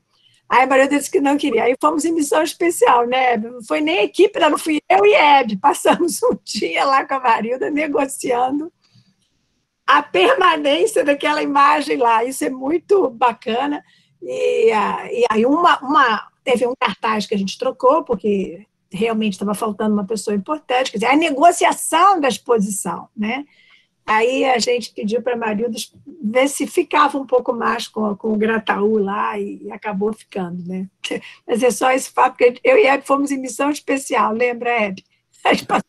Nós. Não, e, e, trabalhando, e trabalhando, que em última instância a gente podia separar, contar a história da comunidade, mas é, é, é, a sabia, eles são compadres, é, no mesmo negócio. Né? É, é a, a, é, é um jeito, é um jeito de dizer o indizível, gente. E principalmente quando você é herdeiro dos sobreviventes, dos, dos, dos que trabalharam, dos que foram libertos, que ganharam as terras, mas você não esqueceu os outros. Não, mas aí no memorial a gente foi, foi uma missão especial. Lembra, Maria? Nós ficamos horas ali naquele memorial. Depois, se quiser, se... Ela vai falar. Ah, mas assim, eu vou falar porque eu tenho que, daqui a pouco eu vou ter que ir embora. Uhum. Aí a. Diz aonde você está, Marilda, diz aonde você está aí. Você está na frente. Estou na, escola Laura Pires da Gama, né? Primeira escola construída aqui para o pessoal do Quilombo, né? Ela. A história da, do, da Áurea Pires é, é uma outra história à parte, né? Não, não precisa contar a história da não, só não vai dar tempo. É, senão não dá tempo. É. Não, é só explicar que você está na frente da escola quilombola, só isso. Isso, ela agora é uma escola quilombola de segundo segmento. É, foi muita luta também para isso acontecer, né? Mas está aprovada já como escola quilombola do segundo segmento. Eu trabalho aqui na zeladoria já oh, 28 anos. É, e eu também foi a minha escola que eu, eu vim estudar também. porque ela era só duas salinhas quando começou a fazer as e eu foi uma, eu fui da primeira turma aqui da Áurea Pires, e depois ela foi crescendo, ela foi ficando, tipo, puxadinho. Foi indo, foi indo. Hoje ela tem dois andares e tem é, 20 salas, parece. Por aí, assim. Mas aí, para a pergunta aí dos meninos, né? Palmares, gente, tá? Ela é, deu, nos deu o certificado na gestão antes, que eu não estou me lembrando o nome. Mas, gente, me desculpa, mas vou sentar, que eu estou com idosinho nos pés. Aí, Palmares, hoje, tem nada que nos representa lá naquela. Aquele cara que está lá, vou te contar, hein? não sei por que, que ele foi cair lá, só que o presidente mesmo quis, né? Porque ele não, não é a favor do povo quilombola, não. Né? Ele deixa até para lá, nem vou responder muito, mas é que já pegando as duas perguntas das pessoas, a gente tá, os quilombos tá, todos os quilombos acham que, que Palmares não está representando a gente, né? Infelizmente, é mais uma coisa para nos tirar do eixo, para tirar nossa que aí a gente não tem, assim, quem se afirmar, no caso de precisar, né? Precisando nós estamos, né? Que Santa Rita do Bracuí está sendo, bem dizer, invadida, né? Com a especulação imobiliária. E nós não temos força para brigar com esse povo, né? Todo mundo quer vir morar no Quilombo, quer vir morar na, na, na comunidade de Santa Rita do Bracuí, Ainda mais agora na pandemia, né? porque é um lugar agradável, arborizado, água à vontade, né? Mas estão chegando e chegando bonito. E a gente simplesmente só olhando, porque sabe lá com quem que a gente vai estar tá mexendo, né? Então a gente prima por nós, nossas vidas, e pelas vidas dos nossos, né? Então, isso aí é um desabafo aí que eu faço. É, agora, então, que a gente perdeu a luta para o asfalto, né? Que a gente queria os broquetes, as coisas assim mais compatíveis com, a, com o, a, o meio ambiente, mas a maioria quis o asfalto e foi asfaltada a estrada. E agora a gente vê casas e casas subindo, né? É, mas fazer o quê, né? Estamos aí, mas não desistimos nunca. Agora, quanto à outra pergunta aqui que foi feita, qual seria o papel da juventude nos dias de hoje? É, o Quilombo Santa Rita do Bracuí, igual os outros os quilombos, claro, tem aquelas juventude que são mais achegadas, que são mais aguerridas, e tem os outros que são mais do, oba-oba, deixa para lá. Quando agora na pandemia, né, que a gente foi teve a, a vacinação, aí sim, houve agora um, um, um, um achego mais, parece, do, da juventude, porque quando eles viram lá, pô, eu com 18 anos, 19, 20 anos vou vacinar, sim, você vai vacinar. Então, me parece, que estão abrindo mais um pouco esses outros que não são muito chegados à história do quilombo, ou chegado, ou sabe a história, mas não, não se importa. Opa, está parecendo que está vindo alguma coisa boa para nós. Então, aí a gente explica a nossa luta para poder ter essa vacinação, que não foi de graça, não foi porque o governo gostou da nossa cara, não foi porque o governo quis vacinar foi muita luta para poder ser vacinado, né? E aí, nessas coisas, os, os, os jovens, eles estão chegando mais. E também, nós temos a... É, nós somos um, do, um dos quilombos que... Um não, acho que é o primeiro quilombo que mais manda jovens assim, para a faculdade. Né? E E não manda muito, não, gente. É quatro, é três, é dois. É, é, são esse o número. Mas mesmo assim, em frente a outros quilombos, eu fui na LERJ uma vez, e tinha representação de todos os quilombos do estado do Rio. Então, aqui no estado do Rio, quando foi perguntado quantos alunos, quantas pessoas vão estudar numa faculdade por causa. É, vão estudar a faculdade dos quilombos, Santa Rita do Bracuí estava na frente. Porque até agora nós mandamos quatro da primeira vez, dois da segunda e mais três, não, mais quatro da primeira. Menina fechou a. Teve uma que fechou a matrícula, mas diz ela que vai voltar. Então, é, o pessoal fica assim, é como esses, os, os jovens das outras comunidades não se interessam para fazer uma faculdade. Tá, talvez fosse por isso, né? Essa força aí da pesquisadores, né? Tudo isso, porque nós recebíamos também muitas pessoas na nossa casa para ficar é, pesquisando, por exemplo, jovens de outros lugares.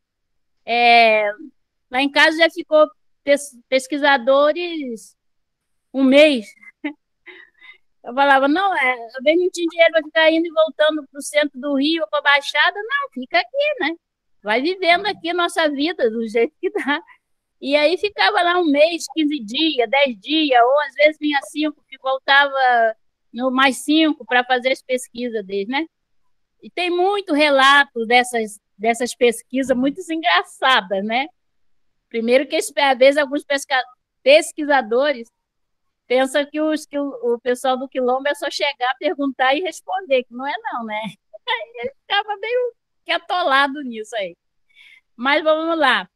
Então, os jovens, talvez vendo essa, esses pesquisadores né, naquelas épocas, eles fala, podiam estar falando, opa, também posso, né? E foram se adentrando aí na, nessa coisa aí. Então, o papel dessa juventude que fez essa, essa, essa, essa pesquisa, não, não, os daqui do Quilombo, é levar esse conhecimento e essa força para diante. Para diante, né? E eles estão aguerridos nisso, é, é, maioria. E já Síria veio outros que nem estão fazendo, que não foram para a faculdade, que também estão na, na luta. Então, isso é, isso é muito é, bom, né? Isso é muito. É, apesar de ser poucas, poucos jovens para pelo tanto de jovens que nós temos, mas já é uma, uma grande força, né? Aí aqui está dizendo também, como discutir o jogo com os jovens? Gente, a, a, foi a juventude que se agarrou ao jongo. Porque eu, na minha juventude, eu não dancei jongo. Porque era feio, era tido como coisa de macumba, como coisa ruim, macumba era visto como coisa ruim. E, e a gente não podia fazer isso até pela nossa religião, né? Que proibia isso aí. É, porque às vezes eu, eu sou da religião católica, mas vocês a, a igreja católica ela é muito é, não é que ela vai dizer que se você for dançar o jongo, você vai amanhã já está no inferno, você nunca vai para o céu. Mas ela vai comendo pelas beiradas, ó isso não é de Deus, não sei o quê, devagarzinho. E a gente ia deixando essas coisas é, da comunidade de lado. E aí, quando veio o projeto Pelos Caminhos do Jongo, né, feito com o nosso amigo Delso e o pessoal daqui do, do Bracuí, a juventude daqui, eles trouxeram o jongo para as crianças, eles trouxeram o jongo para os jovens. Então, quem dança jongo aqui no Bracuí, a maioria é jovem. São os jovens, não são as pessoas de meia idade nem e pouco mais velho que dançam, dois, três, né? Mas assim, a maioria nem gosta de falar de jongo ainda, né? É, o jovem, não é o jovem não, os adultos, né? Nem gosta ainda de falar muito de jongo porque foi muito passado como coisa ruim como é coisa de macumba e é coisa ruim, né? E, Então, são os jovens. O jongo está parado porque houve muito assim, é, jongo de apresentação. Então, houve um, um embate aqui mesmo, dentro do próprio quilômetro, inclusive comigo. Eu fui uma dessas. Pô, vocês só dançam jongo quando vem alguém para ver vocês dançando? Vocês só dançam jongo quando sai para a cidade, não sei para onde, ou quando é chamado para. Virou o quê? O jongo virou uma moeda de troca. Aí a gente teve umas risgazinhas, umas brigazinhas, é, e também a gente viu que as pessoas estavam querendo se aproveitar muito dessas apresentações. As, as meninas, os jovens, as crianças iam para se apresentar só por troca de lanche, né? Às vezes nem traz, nem mandava, aqui é longe, nem mandava um transporte, né? E aí e as pessoas passando necessidade, precisando das coisas, e a gente foi parando um pouco esse jongo de apresentação. Mas aí que nem ficou nem de apresentação e nem de jogo aqui dentro para se divertir também, deu uma parada. Aí agora com a pandemia, né, que não pode mesmo, mas parou. Mas é isso, né? nem é tudo é flores dentro de uma de uma comunidade também. A gente também tem nossos embates. É, então, isso é discutir o jongo com os jovens. E eles entenderam qual é a diferença do jongo que estavam fazendo agora com o jongo que existia antes. Era um jongo para divertir a comunidade mesmo, era um jongo para a família se divertir, né? E isso não estava tendo mais aqui no Bracuí, um jongo para divertir a própria comunidade, para a comunidade se juntar e, e se divertirem. Eu não sei se eu entendi bem isso aqui, mas sobre o processo e reconhecimento da juventude. Ah, a juventude tem, elas conhecem o processo da comunidade, elas sabem que estamos na, na luta para a titulação, que nós somos uma só uma uma comunidade certificada, é, conhece toda essa nem todo mundo, mas a maioria conhece é, da onde veio, qual é a sua raiz, quem, né? Quem veio antes de, deles, das pessoas, quem está lutando. Hoje, é, eu falo assim, gente, o mesmo conhecimento, né, que meu pai tinha, minha avó, né, assim. E e do meu pai e a mim. Aí, do, do meu pai, da minha avó, né? Hoje, esses jovens né, que estudaram também, eles já falam dess, dessas histórias com outro olhar, né? É, por exemplo, meu pai, quando ele falava da história, ele não falava da Rio Santo, não tinha como para falar da Rio Santo, porque não existia Rio Santo, né? Eu já falo da história, eu já ponho a Rio Santo, mas eu, eu não, nunca entro, não entro é, a fundo na história da Rio Santo para poder falar do para meus para as pessoas, né, que vêm. Mas o meu, as jovens, os jovens da agora, eles já falam da Rio Santo. Eu estou indo embora, por isso que eu estou aqui fora. Aí, eles já falam da Rio Santos, já falam da, dessa, dessa vivência deles de faculdade, já falam. Então, é assim, eles contam as histórias mais antigas, mas também já apresenta é, as histórias da agora, né? Hoje, é, eu também já falo das histórias mais antigas, mas já falo de historiadores, já, já, já falo de jovens que, que foram para a faculdade. Então, é um misto de coisa, né? Então, é isso. A, a, a gente não fica mais só contando aquelas histórias de antes. Né? Por isso que, às vezes, é, quando alguém fala assim, meu marido, eu quero ir fazer uma pesquisa com você sobre a comunidade do Bracuí. Minha filha, fala lá, qual o objetivo, qual a sua pesquisa objetivamente. Por quê? Você não chega aqui eu dando a falar de tudo quanto é coisa, e às vezes o que você quer saber mesmo, você, a gente nem fala, né? Por exemplo, quer vir saber a história da, da, da escola? Então é a história da escola. Quer vir saber a história das igrejas? É a história das igrejas.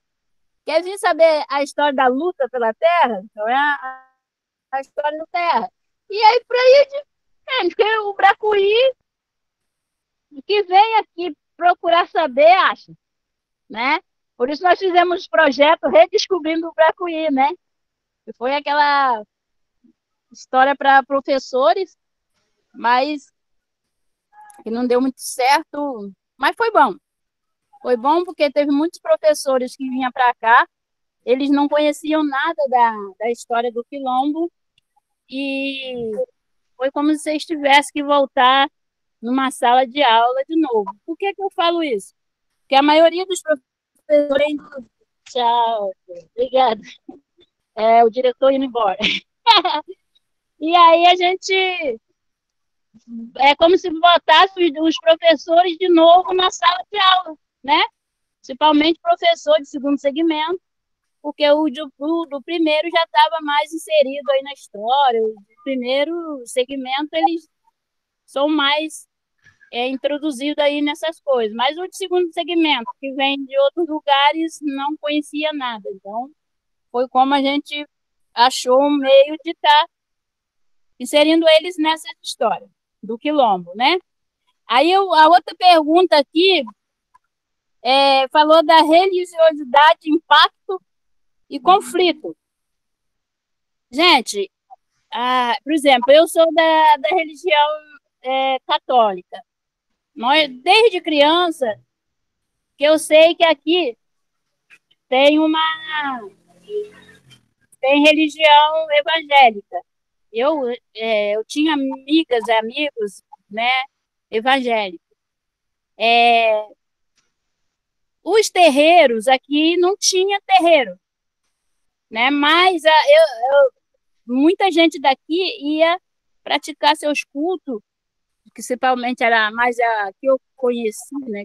Que eu fiquei sabendo, era um banda, e as pessoas saíam daqui para outros lugares, aqui perto em Angra mesmo, para participar de alguns rituais dessas religiões, da religião de, um, de Matricano Banda. Mas era tudo escondido. Ninguém queria que dissesse, né? Que os outros soubessem que eles faziam isso. Né? Então, é, essa coisa aí da religiosidade das pessoas fica muito difícil. Mas agora a gente tem aqui o Mac, que ele é um bandista, e ele está fazendo o terreiro dele. E o impacto é o quê? Todo mundo acha assim, pô, mas não precisa desse, dessa religião aqui. Não é que é todo mundo, falei todo mundo, mas ah, tem pessoas que dizem, mas não precisa dessa, dessa religião aqui, né? É, ainda é difícil para as pessoas entenderem essa a religião, as outras religiões, a não ser a deles mesmos que a gente, o pessoal acha que é a única que que manda que, que vai salvar o mundo, né? É, é resíduo da, daquele dos nossos colonizadores, vamos dizer assim. É, agora, o, o, então, o impacto é esse. As pessoas, é, é tipo um impacto na cabeça. Porque não há, assim, uma... Como o rapaz perguntou, tem conflito? Não tem, assim, um conflito é, ah, de bater ou de coisa assim. Mas tem o conflito mental, né? pessoa passar, quando o Mac lá se veste com a roupa dele, ficar meio assim, né? Como assim? É. E é isso. Então, esse é o conflito, né? É, o conflito de religiões ainda está meio que camuflado, né? Não há um conflito assim de agressão, dessas coisas, não há. Mas na camuflagem tem, né? tem esse, esses conflitos, tem. E ainda. De, e hoje em dia, eu às vezes, as pessoas, eu que lá em casa, eu, lá em casa é um quintal, sala de aula, né? O pessoal diz isso. Então tem uma árvore e a sala de aula é embaixo da árvore lá e, e a, o próprio jovem daqui diz que a minha, a minha diz que lá em casa é um é uma é um quintal sala de aula da Marilda. E então teve, eu recebi já diversas religiões lá em casa, né? Desde aquele que toma o chá, um chá, chá, não sei lá como é o nome. É, gente, desculpa a minha ignorância, mas é, até budista, candomblessista, não sei mais quem. Oi! E, e a gente tem essa, esse contato bom, né? essa harmonia boa, essa fortaleza boa. Só que tem hora que eu vejo assim, a pessoa dizendo assim para mim, igual quando eu já recebi uma família lá em casa que era candomblessista, era um, um casal que estava é, andando no Brasil e eles ficaram brabo comigo quando eu falei que eu era católica. Como assim? Uma quilombola ser católica? Falei, gente, como assim? Sobre. Não, a senhora tem por obrigação passar para a religião de matriz africana. Gente, nós não somos obrigados a nada, não, pelo amor de Deus. Vamos respeitar o eu do outro. Quem vai ser? Eu sou obrigada a ser candomblessista se eu não quero. Então, a mulher ficou irada comigo. Não, nossa, ela é... E o Mac que sempre fica me jogando uma, uma pescadazinha. Ainda vou te levar para o candomblé. Ainda vou te levar para o candomblé. Eu falei assim, olha, Mac, se for da vontade de Deus, eu vou para onde ele quiser. Por enquanto, é, ainda estou no católico mesmo. Então, o conflito que tem, né, respondendo aí assim, é mais essa parte aí do ainda da conversa, do entendimento, do saber o que é, né, para poder estarmos juntos. Mas o importante é estarmos juntos e conhecedores e sabedores das nossas histórias é, e respeitando o próximo. Gente, eu vou ter que parar, porque eu vou ficar sem internet, porque eu tô indo, eu vou embora. O professor até já fechou a escola, eu tô aqui do lado de fora ainda. Tá Muito bom? obrigada, Marilda. Todo um mundo aqui encantado com você. Foi um prazer falar com vocês. Qualquer coisa, a Marta, a Hebe tem aqui meu contato, pode perguntar. Eu já fiz muito assim, é, as pessoas mandam as perguntas pelo WhatsApp e eu respondo para terminar a tese ou começar um trabalho, sei quê, porque para mim educação é tudo e vamos lá, tudo pela educação. Valeu demais, Marilda, muito obrigada. Agradecida. vou escutando vocês até onde tiver internet. Beleza, ah, beleza. Boa, Marilda. Se der, bom, acho que não dá para tirar uma foto do, do Rio. Eu vou mandar depois para a Juniele fotos do Bracuí, que tem no site do, do Passados Presentes. Tem algumas fotos, vocês podem, vocês podem ver ali o, o, o, o ambiente, né? Da, e o que... tirar foto agora, eu espero. Oi? Ah, vou tirar com ela, Juniele, uma foto com ela, que também está falando. Ei. Peraí.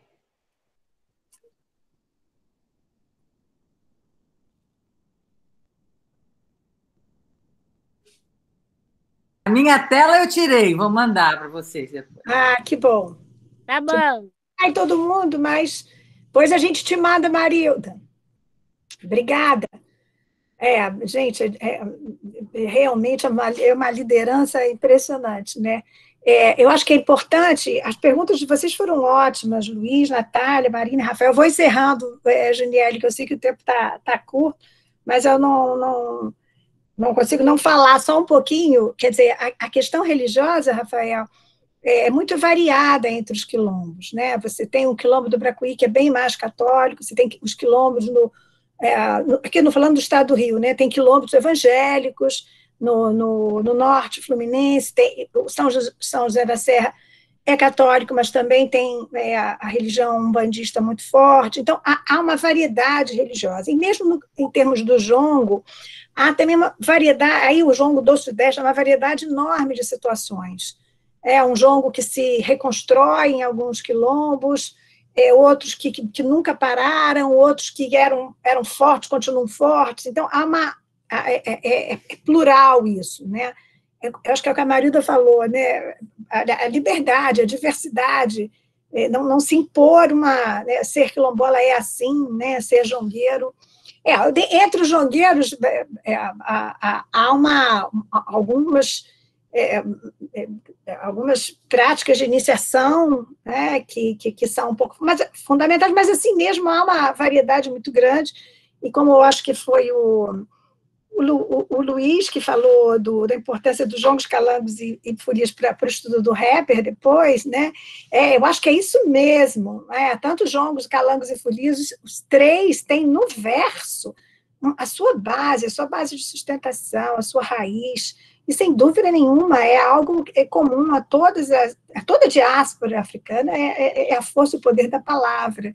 Eu achei bárbaro você conseguir relacionar é, com, com os rappers hoje. É, a Adriana Facina já tinha falado isso para a gente, né, Hebe?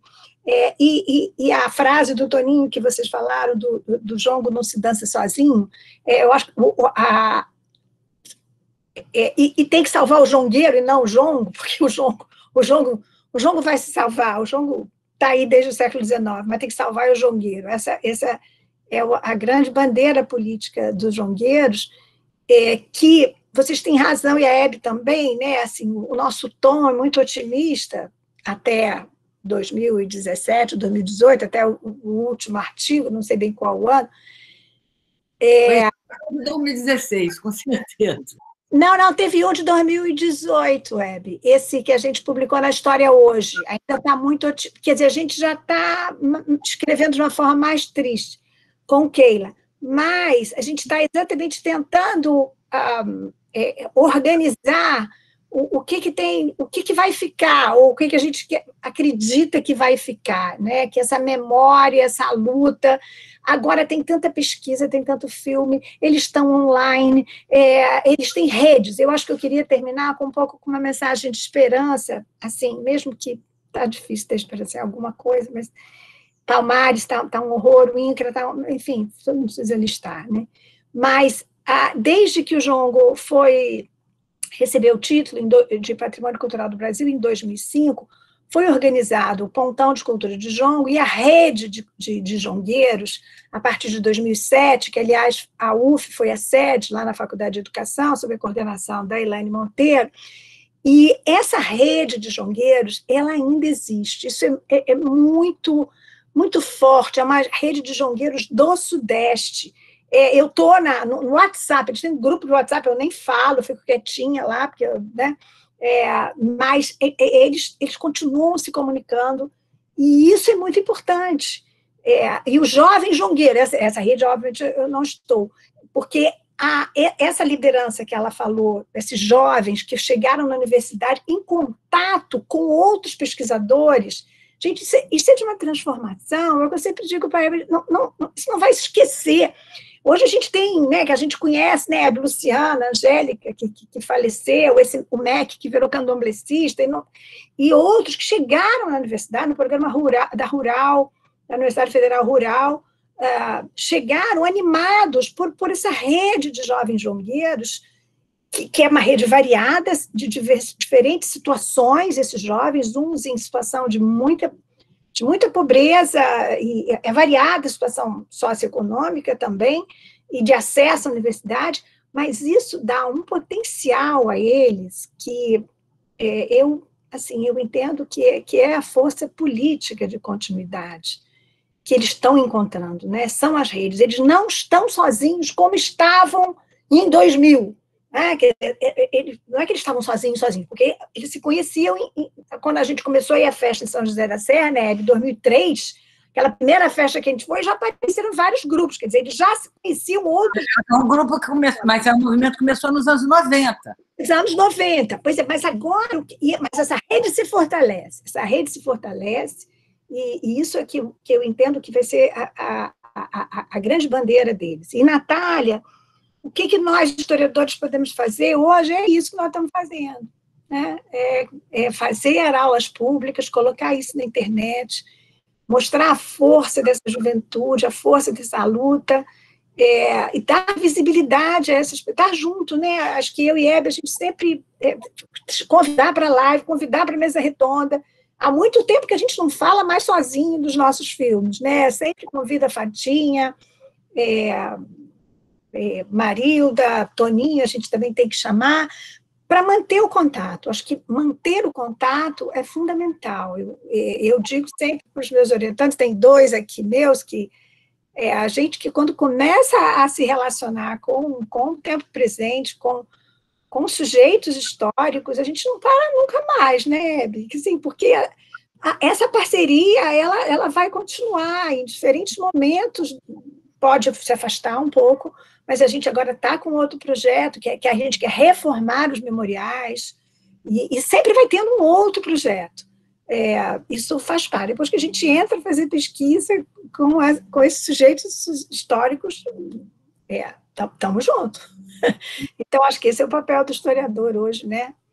É isso. E deixa só para reforçar isso, que eu também sou muito otimista, não sei se alguém consegue ser otimista no Brasil hoje, mas eu sou muito, eu sou muito otimista de que é, é, essa força engendrada nos últimos 30 anos veio para ficar. Quer dizer, qual foi seu futuro? Quando eu falei dos nossos artigos, eu esqueci, esqueci do, realmente da, do, da história hoje.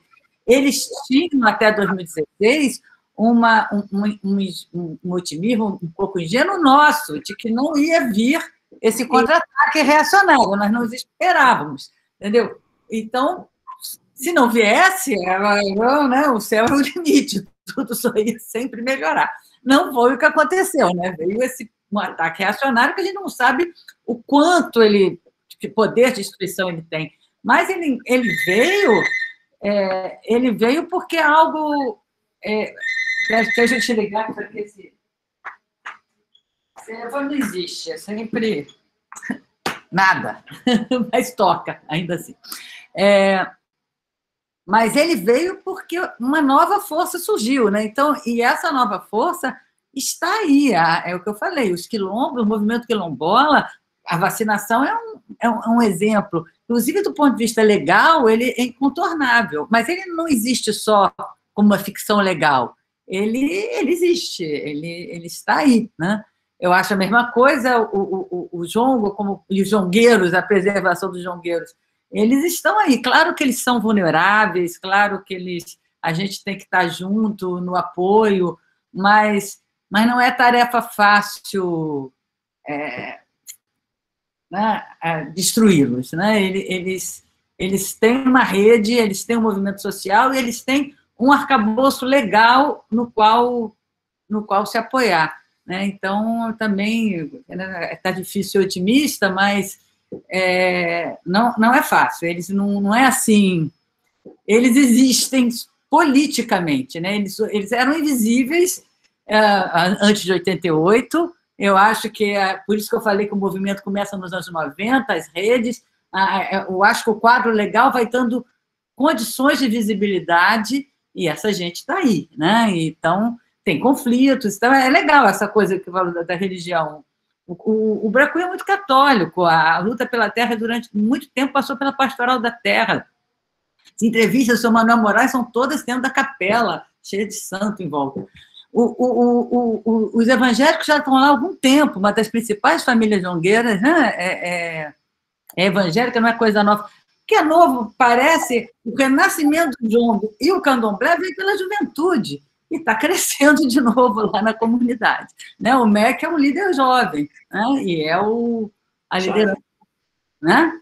E é uma liderança, que é a liderança do candomblé. E, e, e a mironga do jongo vai retornando é, né, pela juventude também. Né? Mas, ao mesmo tempo, o registro mais autêntico né, assim, entre aspas, porque né, sobre identidade a Marta me bate, mas é, um jogo que não era espetáculo, nós gravamos no Bracuí, com um, com um bando de gente, com um líder evangélico, outro, né? juntou aqueles velhos que não faziam jogo há um tempão, né?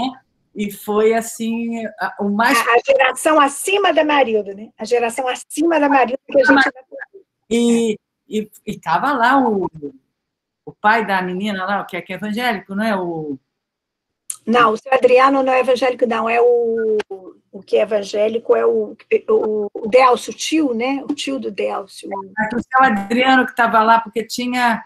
Bom, mas o fato era uma geração mais velha que já não cantava, ou era um, ninguém ali era de religião de matriz africana, já não fazia o jongo há algum tempo, né? O, o, único que fazia alguma coisa era o, o seu Seixas, mas quando eles começaram a cantar foi onde a gente viu o jongo improvisado, o jongo que estava dizendo coisa que a gente não entendia, que a gente tinha que chamar alguém para decifrar. Né? Foi, foi ali, né? porque não era o jongo espetáculo, né? eles não estavam, os jovens começaram a fazer. Só para contar esse depoimento, né? Dessa eu acho que essa complexidade, o fato é que hoje eles existem, têm visibilidade, têm os seus conflitos, o risco do individualismo, essa, essa tática de, de vir pelo dinheiro, além da especulação imobiliária, dividi-los, mas até isso já é pelo mercado, né? mas já é um outro patamar de, de conflito. Quer dizer, é reconhecer que eles existem, que eles são quilombos, que eles têm direitos e entrar por um outro, um outro viés, que pode ser talvez o mais destrutivo de todos, mas não é uma volta né, ao, àquela, àquela situação de precariedade e invisibilidade anterior. Bom, desculpa, só que eu. Sem, a gente, ninguém consegue ser otimista com o Brasil, mas eu sou otimista com a força política que eles adquiriram. É, eles estão, eles estão na arena, estão no jogo. O que, que vai acontecer, eu não sei, porque, mas eles, eles estão lá. Ai, gente, muito obrigada. E é bom também estar com vocês nesse, nesse momento em que as reflexões também vão surgindo, essa coisa do tempo presente que faz a gente ir pensando as arestas e construindo argumentos junto, né? Foi, assim, uma aula incrível de conhecimento compartilhado, como o pessoal escreveu aqui, o Sávio, Fernanda, Olivia, todos os debatedores, debatedoras que estiveram aqui com a gente hoje também, porque eu fico morrendo de saudade, quero brindar lá no Laboy, ao vivo, com vocês, tão queridas, e com todo mundo que está chegando e que a gente conhece, como diz a Marta, conhece só pela telinha, né, Marta? E são pessoas com tanta força, com tanta vontade de fazer, então é um grupo muito especial. Estou muito feliz de estar aqui com vocês e ter esse, essa tarde junto, viu? Muito obrigada, Marta, Hebe, por esse super apoio. Vocês sabem o quanto eu sou grata pela presença vocês duas aqui na minha Beleza. vida, nas minhas aprendizagens, viu? Muito obrigada. Beijo aí para todos. Eu volto, eu vou voltar com, com o pessoal daqui 10 minutos. Se querem tá falar mais alguma coisinha, Marta, tá tudo tranquilo? Hebe? Ah, tudo tranquilo. Parabéns para você pela turma, pela aula. É. Valeu, gente. Muito obrigada. Abraço. Beijo, abraço virtual aí para todo mundo. Tchau, tchau. Beijo.